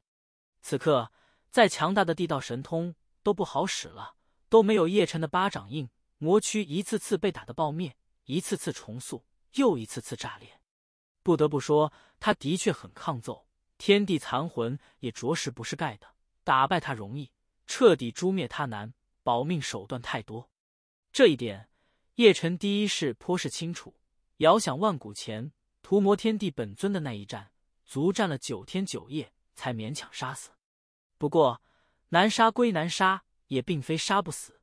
比起屠魔天地本尊，灭掉这道天地残魂也仅时间问题。噗，噗，他的掌印越发强大，一路将魔天地打到了混沌的尽头。天魔残魂在溃散，魂力亦在崩灭，难挡他盖世功法。怎么可能？女圣体喃喃，看得神色怔怔。他是太低估叶辰的第一世了，竟强大的这般无法无天。要知道，在魔柱世界中，叶辰第一世是受压制的。如此境况下，竟还能压着魔天帝打，那尊帝是有多可怕？他这看得专注，可诸天的修士俩眼珠却在左右转动。只因擎天魔柱在瓮笼中开始左右摇晃，颇有倾倒的架势。可晃了那么十几下，愣是没倒。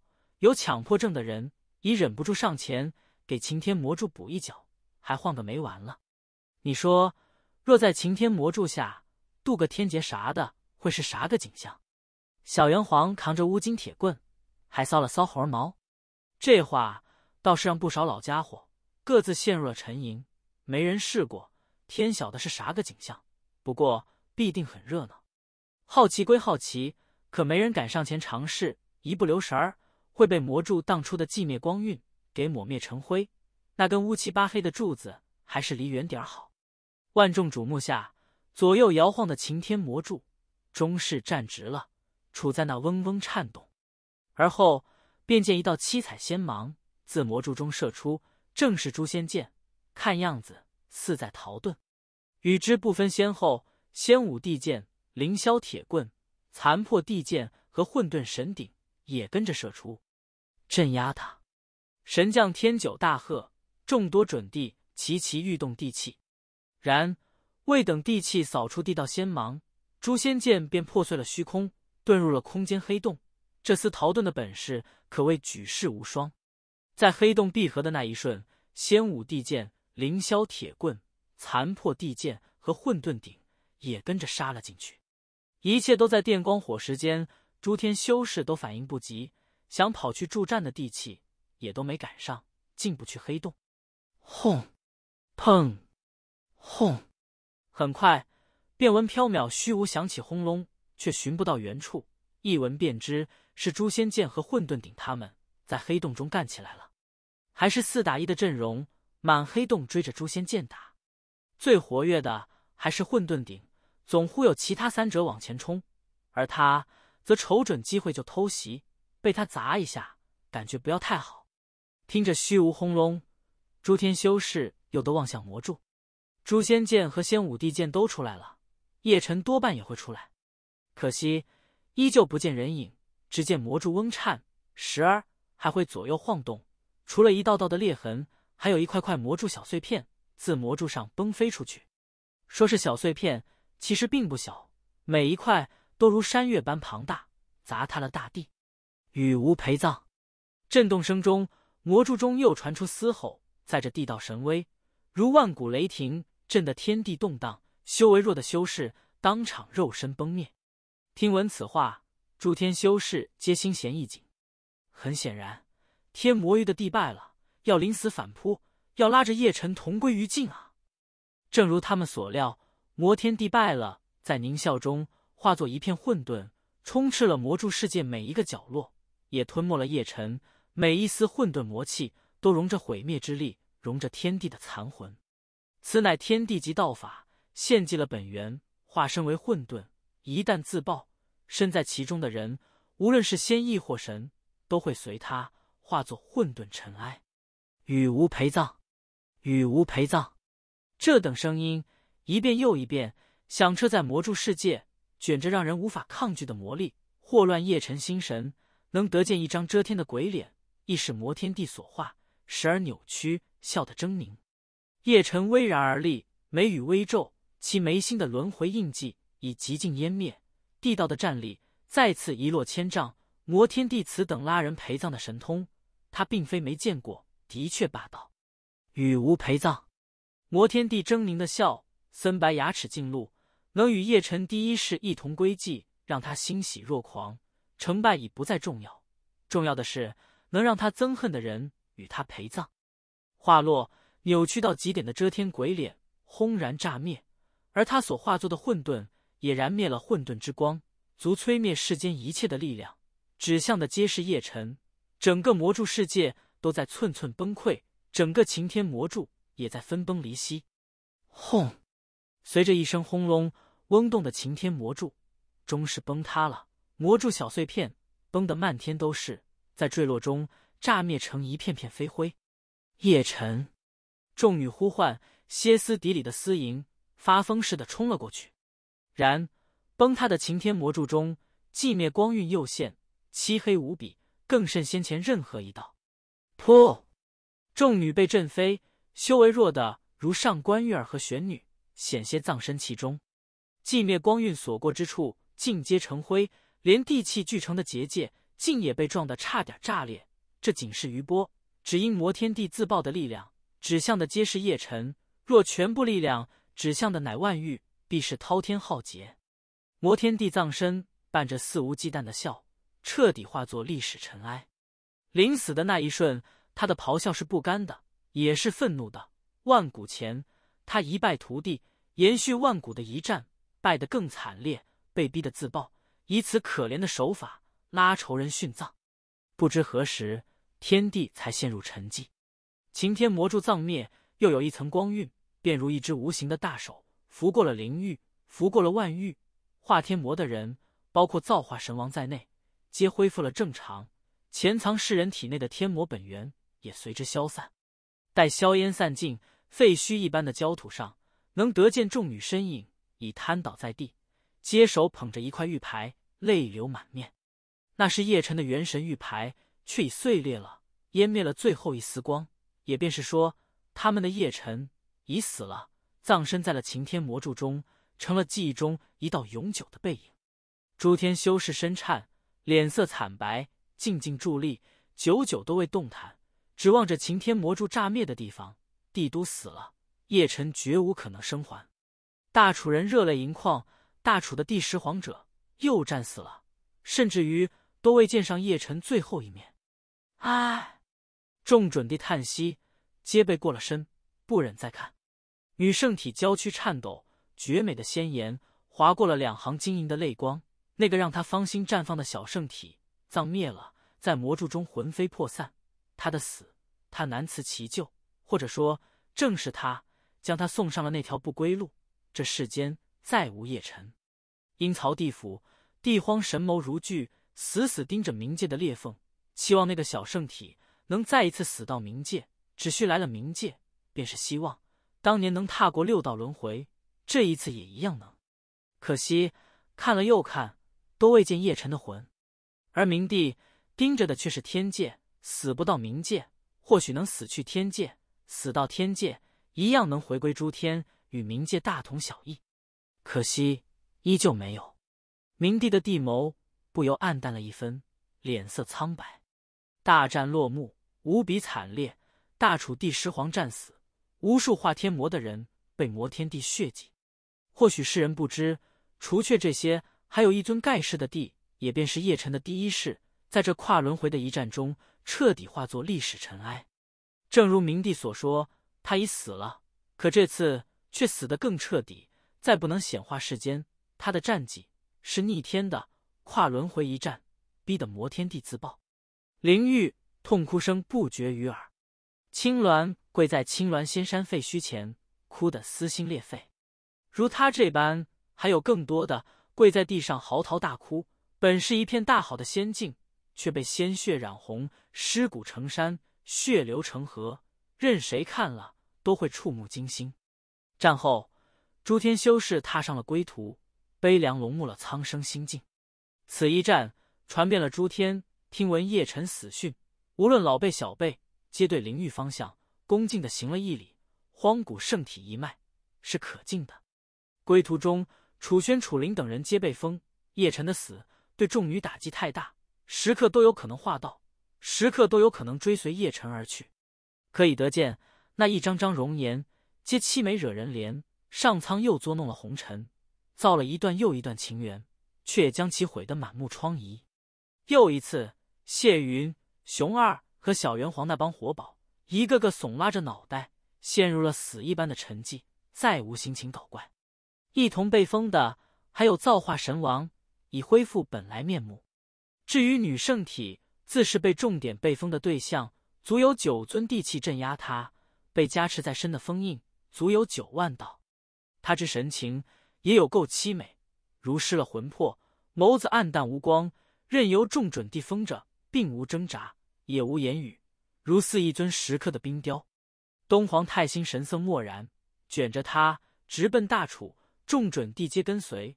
大战落幕了，天魔本源危机解除，是得好好审审这尊女圣体了，最起码得弄清她的来历，又为何与天魔为伍。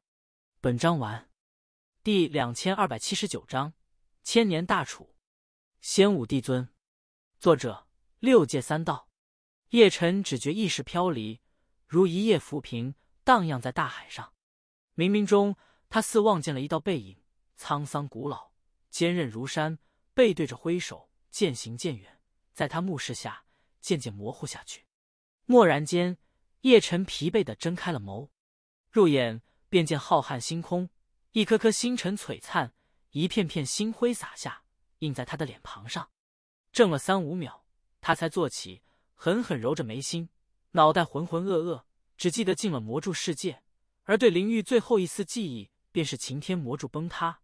这期间之事，却是一片空白。魔柱世界中有天地残魂，是谁毁了擎天魔柱？化天魔的人可曾恢复正常？潜藏的天魔本源？是否已消散？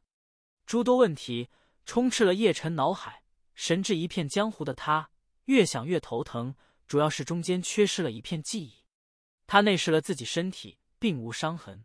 至于宝贝，其他的都还在，但混沌鼎、残破地剑、凌霄铁棍和白玉龙床却是不见了。叶辰皱眉，以神识沟通，却未得到丝毫回应，这让他不淡定了。丢了其他不心疼，丢了混沌鼎那就肉疼了。那可是他的本命器，一路不知吞了多少宝贝。下一时间，他站起了身，才知身在一片山林中。而环望四方之后，他一眼便认出了是了，乃大楚，不是在灵域，咋跑大楚了？叶辰喃喃自语，一步踏入了虚天，再次确认，的确是在大楚。对这片山河轮廓，他早已印在灵魂里。诡异，说着，他简单辨认了一下方向，便直奔横越。在路过南北楚边界时，他不由驻足了，愕然道：“南楚城墙呢？”月下不少修士自此路过，说说笑笑，却好似未瞧见他自他身侧走过，无丝毫察觉，仿佛在那些人眼中，他就如不存在似的。最让他惊异的是，还有人是穿过他的身体走过的。叶辰懵了，捏了捏自己的小胳膊小腿儿，有疼痛感，并非梦境，也是有血有肉的。可为嘛大楚人看不到他？为嘛他在大楚人眼中他是不存在的？还有南楚城墙跑哪去了？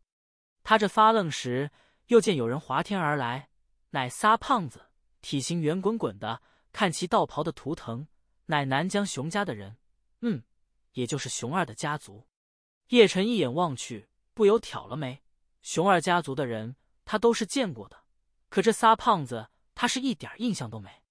其后路过的人让他更惊异，竟是嗜血殿的人。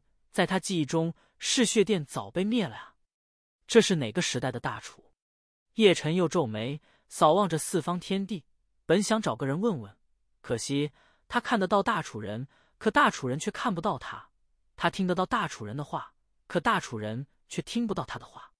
这让他凌乱了。他分明是真实存在，大楚人也是真实存在，可偏偏相对大楚人而言，他是不存在的。无奈，他只得奔向横越，得确定一下这是哪个时代的大楚。这一路，他遇见太多人，却皆是陌生面孔，从未见过，也无一人能看到他。不多时，他定身在横岳山门前，一步跨越，落在了玉女峰。正如他所料，玉女峰上并无楚轩和楚灵他们，只有一个道姑盘膝在山巅，吸纳着天地灵力。横云道姑，叶晨青南认得那道姑，曾在横岳的密典中见过他的画像，曾为玉女峰峰主。论辈分，比通玄真人和恒月真人他们还高出一倍。但早在通玄真人做恒月掌教时，便已归寂了。其后，叶晨离了玉女峰，神识龙目了整个恒月宗，没有楚轩和楚灵，自也不会有熊二和谢云他们。只因在这个时代的大楚，他们都还未出生。他倒是看到了恒月真人、恒天上人和通玄真人，但此刻还只是恒月外门的一个小弟子，怎会如此？时空逆乱吗？叶晨伫立虚天，久久未动弹，良久。他才蓦然离去，去了诸多势力，倒是见过不少熟悉人，如殷纣，如正阳真人，如青云真人，却都只在少年时代。深夜，他到了天玄门，天玄门的守将自也望不见他。东皇太星是在的，天玄门的准帝也是在的。他到时，东皇太星正在小竹林中安静的煮茶，但对于他的到来，并未有丝毫的察觉，也无半点反应。叶晨坐在了东皇太星对面，试探性的呼唤着。东皇太星该咋样还咋样，甚至未表露半点异状。这一次，叶晨并未走，安静静坐在那，眸光明暗不定，在暗自计算着时间。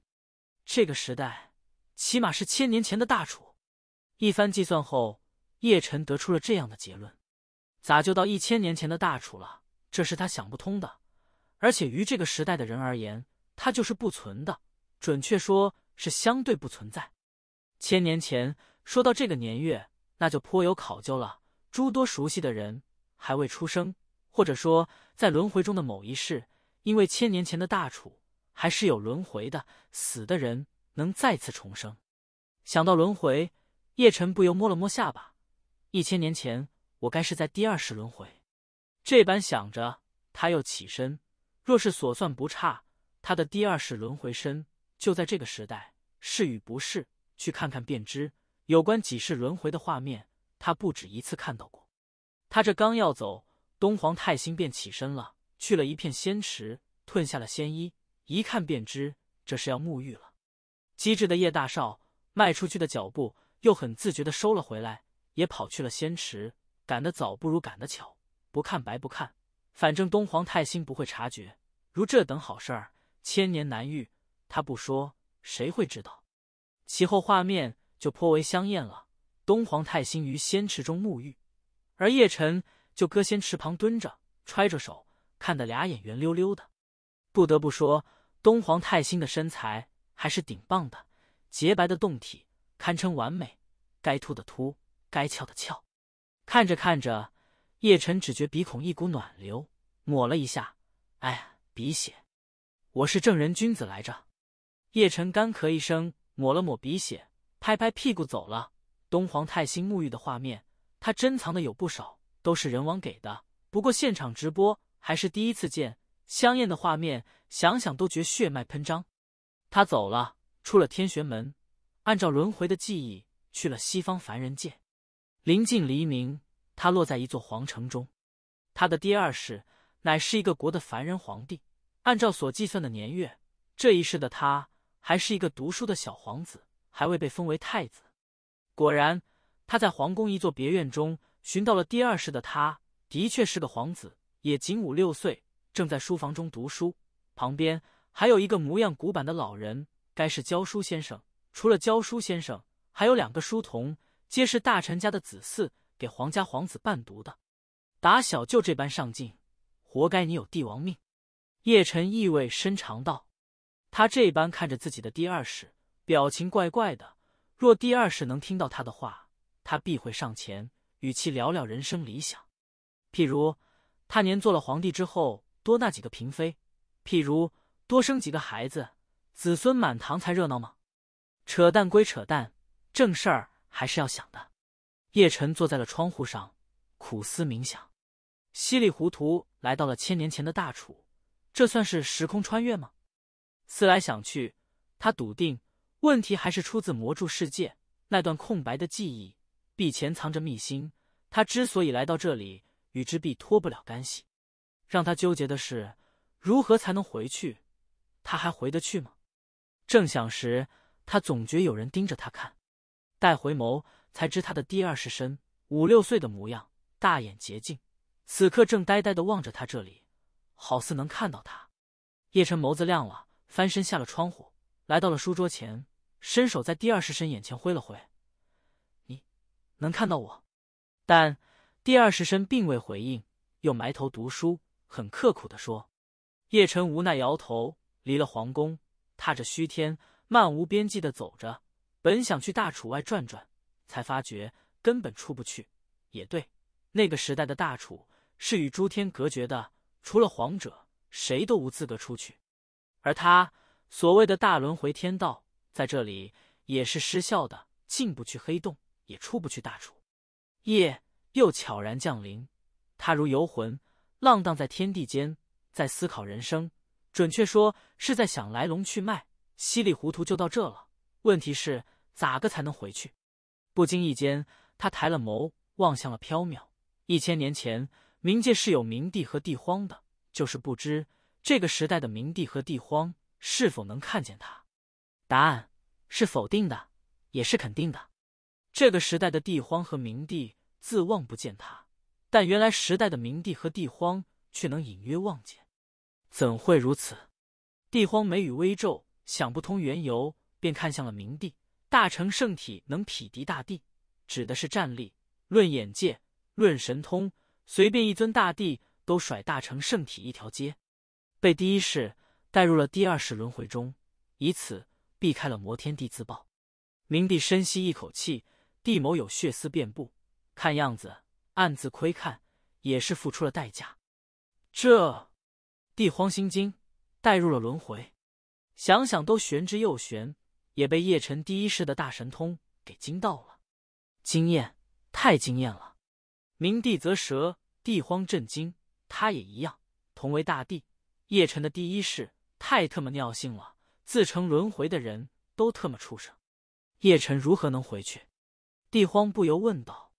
本章完，第两千二百八十章，浪荡的游客，仙武帝尊，作者六界三道，别无他法，只能等。明帝悠悠道：“等。”帝荒皱眉，等他第二世身归天，届时。会有一道专属第二世的轮回印记融入他体内，其后便是第三世、第四世，直至融到第九世，才能出轮回，才能真正回归原本的时代。他第二世到他第九世得有一千年，他要在那轮回中也待上一千年。帝荒挑眉，语气不怎么确定，这般说也没毛病。一千年，诸天早被洪荒踏平了，轮回中千年。不代表外界也是千年，时间流速是不同的。明帝缓缓道，阐述着其中秘辛。这便如当年的六道轮回，道理便是这个道理。大成的你，该是懂得。自是懂。帝皇笑了，他会比外人多出千年的修行时间，而这千年并非修为的提升，是对道的感悟。这或许便是他第一世带他入轮回的寓意，在轮回中感悟轮回。明帝笑道：“他比你还更深谋远虑，可惜他的第一世再不能显化世间。”帝荒一声叹息：“此番跨轮回一战，便是彻底葬灭。出了那无上禁忌，帝也难逃浩荡。日后诸多岁月都不可能再见第一世，除非叶辰能逆天封地和九世轮回，那尊盖世的战神才有可能重现人间，那才是真的逆转乾坤。然。”诸天无圣体成帝的先例，也难有圣体成帝。这一点他心知肚明。大成境的他，不是没想过冲击地境，可缥缈的地道之门比梦还遥远，可望不可及。说话间，他自千年大楚收了眸，眼角有鲜血流溢，妄自窥看，已遭了可怕反噬。明帝也差不多，再狠狠揉眼。千年大楚，叶辰映着月光，又回了横月。玉女疯癫，横云道姑还在，是个绝代的女子。虽已仅千岁，却容颜不老。沐浴月光下，圣洁无瑕。原本时代的玉女峰还供着他的画像。楚轩和楚灵每日都会拜祭。叶晨悄然落下，坐在了恒云道姑身侧。历代的玉女峰主，果是美女辈出。恒云道姑风姿翩跹，楚轩和楚灵亦仙颜绝代。蓦然间，恒云道姑体上多了一丝死气。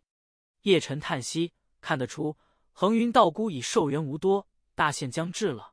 位列准天巅峰的她，也难登天境，注定要堕入下一世轮回，也注定在下一个轮回依旧无缘大楚皇者。这并非猜测，而是真正的历史。叶晨此刻所看的任何一幕，皆是历史，相对不存在的他，于这千年大楚而言，仅是第三者，仅是一个无形无相的过客。他可以见证历史，却无法改变既定的历史。这。便是冥冥中的必然性。夜逐渐深了，恒云道姑缓缓起身回房歇息了，而叶晨还坐在玉女峰巅。他笃定，此刻的楚轩和楚灵他们也坐在了同样的位置，仰望着同样的星空，在寻找星空最亮的星辰。只不过，这前与后差了千年岁月，这是一道无形的屏障，比生死还遥远。他看不到他们。他们也同样望不见他，这期间的千年便是岁月蹉跎。自星空收了眸，叶晨一步踏下，来到了灵草原的崖底。这里封着一尊盖世的存在，乃姜太虚。幽暗的深渊中，他寻到了太虚子，一如雕像，一动不动，在对抗着入侵元神的邪祟。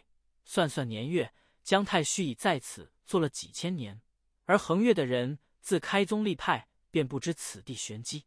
有关太虚子与天虚的恩怨，叶辰早已洞悉，根本就是个误会，或者说是当年的姜太虚太过自不量力，以大圣境就敢领着人硬闯天虚。若非天虚手下留情，东华七子都会葬灭其中。有因必有果，姜太虚为此付出了惨痛的代价。也正是当年姜太虚不明智的举动，才让他有幸得了逆天造化，在此传承了一只逆天的仙轮眼。那一瞬。便是他崛起的转折点，一只仙眼，不知帮他度过了多少危机。叶晨也坐下了，微闭了双目。又一次，他回忆起了魔柱世界，恍似望见了一尊帝，可其后之事便是模糊一片了，无半点记忆。只知望见的最后一幕，乃擎天魔柱崩塌，中间的那片空白依旧无印象。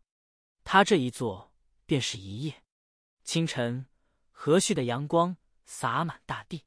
今日的恒月宗颇是热闹，乃外门选拔弟子入内门的比试。叶晨开眸，朝那方望去，一个个风华正茂的弟子，身穿洁净道衣，进入了乾坤阁，人潮如海，个个斗志昂扬。他望见了通玄真人、恒月真人和恒天上人，可谓意气风华，一眼望去便非池中之物。要知道，他三人可是未来恒月的顶天柱。特别是通玄真人会执掌恒月几百年，奈何此刻性情纯真的通玄真人，日后注定会被权力熏心，自诩高高在上，明知是错却不认错，放纵尹志平肆意妄为，将横越置于了危险境地，也将自己送上了不归路。说到尹志平，叶辰不由忆起了宿主，想起宿主，自不忘太虚古龙魂；想起太虚古龙魂，又不免忆起龙也。他扫了一眼，很准确的寻到了恒月的宿主，乃一女长老，乃玉灵峰的峰主，乃四成宿主。看其寿命已时日无多，终究他起身了，离了横月，再现身已是正阳宗。此番他是特地来看太虚古龙魂的。太虚古龙魂依旧趴在禁地的地底世界，那便是龙爷的前身。再见那道太虚古龙魂，叶晨神色恍惚。他与龙爷可谓亦师亦友，也难斩因果牵绊。昔年若非龙爷相助，他也走不上巅峰。天魔入侵时，若非龙爷守护，哪有后世大楚？可惜几百年了，他依旧未寻到龙爷，亦不知龙爷是否还在世。说不定早已葬灭在了轮回之中。悲凉的心境，致使他坐在了太虚古龙身侧，算是默默陪伴他的好基友，在当年是这般的落魄。被镇压在幽暗地底，终年不见光日。所谓的高傲，也被时光磨得荡然无存。至于太虚古龙魂和陈黄的恩怨，在后世大楚早已一笑泯恩仇，没有谁对谁错，是纷乱的尘世造就了伤恨别离。叶晨又走了，漫无边际，毫无目的，倒是想回归原本的年代，但却不知从哪回去，又找不着人问，一头的问号。如此，他走走停停，去了诸多势力，见了一个个骨灰级老祖，有敌对的，也有早被覆灭的。此刻望去。他倒心静如水，岁月太久了，诸多的仇恨早已随时光湮灭。走着走着，便到了北楚。利益之争，北楚大地不乏战火，诸多势力错综复杂，更甚难处。叶晨走一路望一路，见多了杀戮，见过了硝烟战火，却无法插手历史，也无心插手历史。他去了五大禁地，逛了十万大山，在东陵古渊驻足，在盘龙海域眺望。去了天龙古城，曾在天宗世家，相对不存在的他，真成了一个过客，一个无人知的过客。当年他走过的路，如今又一处不差的重走了一次。一个星辰漫天的夜，他来到了炎黄。此刻的炎黄还未分崩离析，红尘已是炎黄第九十八代圣主，座下几大弟子如钟馗、钟江和钟霄等人也皆在，但皆是小辈。与通玄他们同处一个年纪。夜里，红尘伫立在山巅，静静仰望星空。叶晨自天落下，与红尘并肩而立，生得一副一模一样的面孔，一眼望去颇是养眼，但注定无人看得到。要说此刻的红尘，已见有浑噩的前兆，不止一次见他揉眉心，乃时空法则反噬所致，会伴随着岁月一点点被浑噩吞噬。叶晨瞟了一眼下方。能见一棵大树下露出了半个小脑袋，那是红尘雪在偷看他的师尊。或许在少女时代的他，便是恋上了红尘，红尘的雪也只为红尘翩跹为他舞。这一次，叶晨并未离去，一待便是三年。曾经他也是炎黄圣主，对此地也有特殊的感情，早知其后历史，可他还是忍不住看一眼。这般看着历史年轮的滚动。颇有味道，以第三者的身份见证历史潮流。三年，炎黄的传承在红尘的统领下日渐强大，他的几个真传弟子也都争气，深得他的真传。还未成年便享誉西陵，兼并了不少势力，也掀起了不少战火。三年来，叶晨还是未想通缘由，百无聊赖的活着。第四年，他才离开，一路游逛，再入天玄门。要不咋说叶大少运气好呢？总会在恰当的时候撞见东皇太星脱衣服，特别喜欢干净，又跑去仙池沐浴了。香艳画面不多见，叶晨自不会错过，又蹲在了那仙池旁，直勾勾的看着东皇太星，看着美女撩动着水花，他还是很敬业的，看得鼻血横流，眼睛都不带眨的。而且这厮的脑洞也不是一般的活泼，总想着。东皇太星在大楚一待就是几千年，不空虚寂寞吗？搞不好会在夜深人静时偷偷星号星号星号。若有那样的画面，才是真的香艳，绝对珍藏版中的珍藏版。不过他还是想太多了，星号星号星号这等事，想想便好，是不会发生在东皇太星身上的。堂堂昆仑神女，还是要点脸的，至少比他这大楚第十皇者。靠谱多了。沐浴后，东皇太星又回小竹林，捋着湿漉漉的秀发，身着薄如蝉翼的仙衣，衬出了玲珑的体段，寸寸肌肤皆闪动着迷人的光泽，淡淡的女子香，嗅得叶晨心旷神怡。月下，东皇太星取出了一缕秀发，放入了一个小香囊中，而后便仰眸望看星空，眸子迷离，神色朦胧。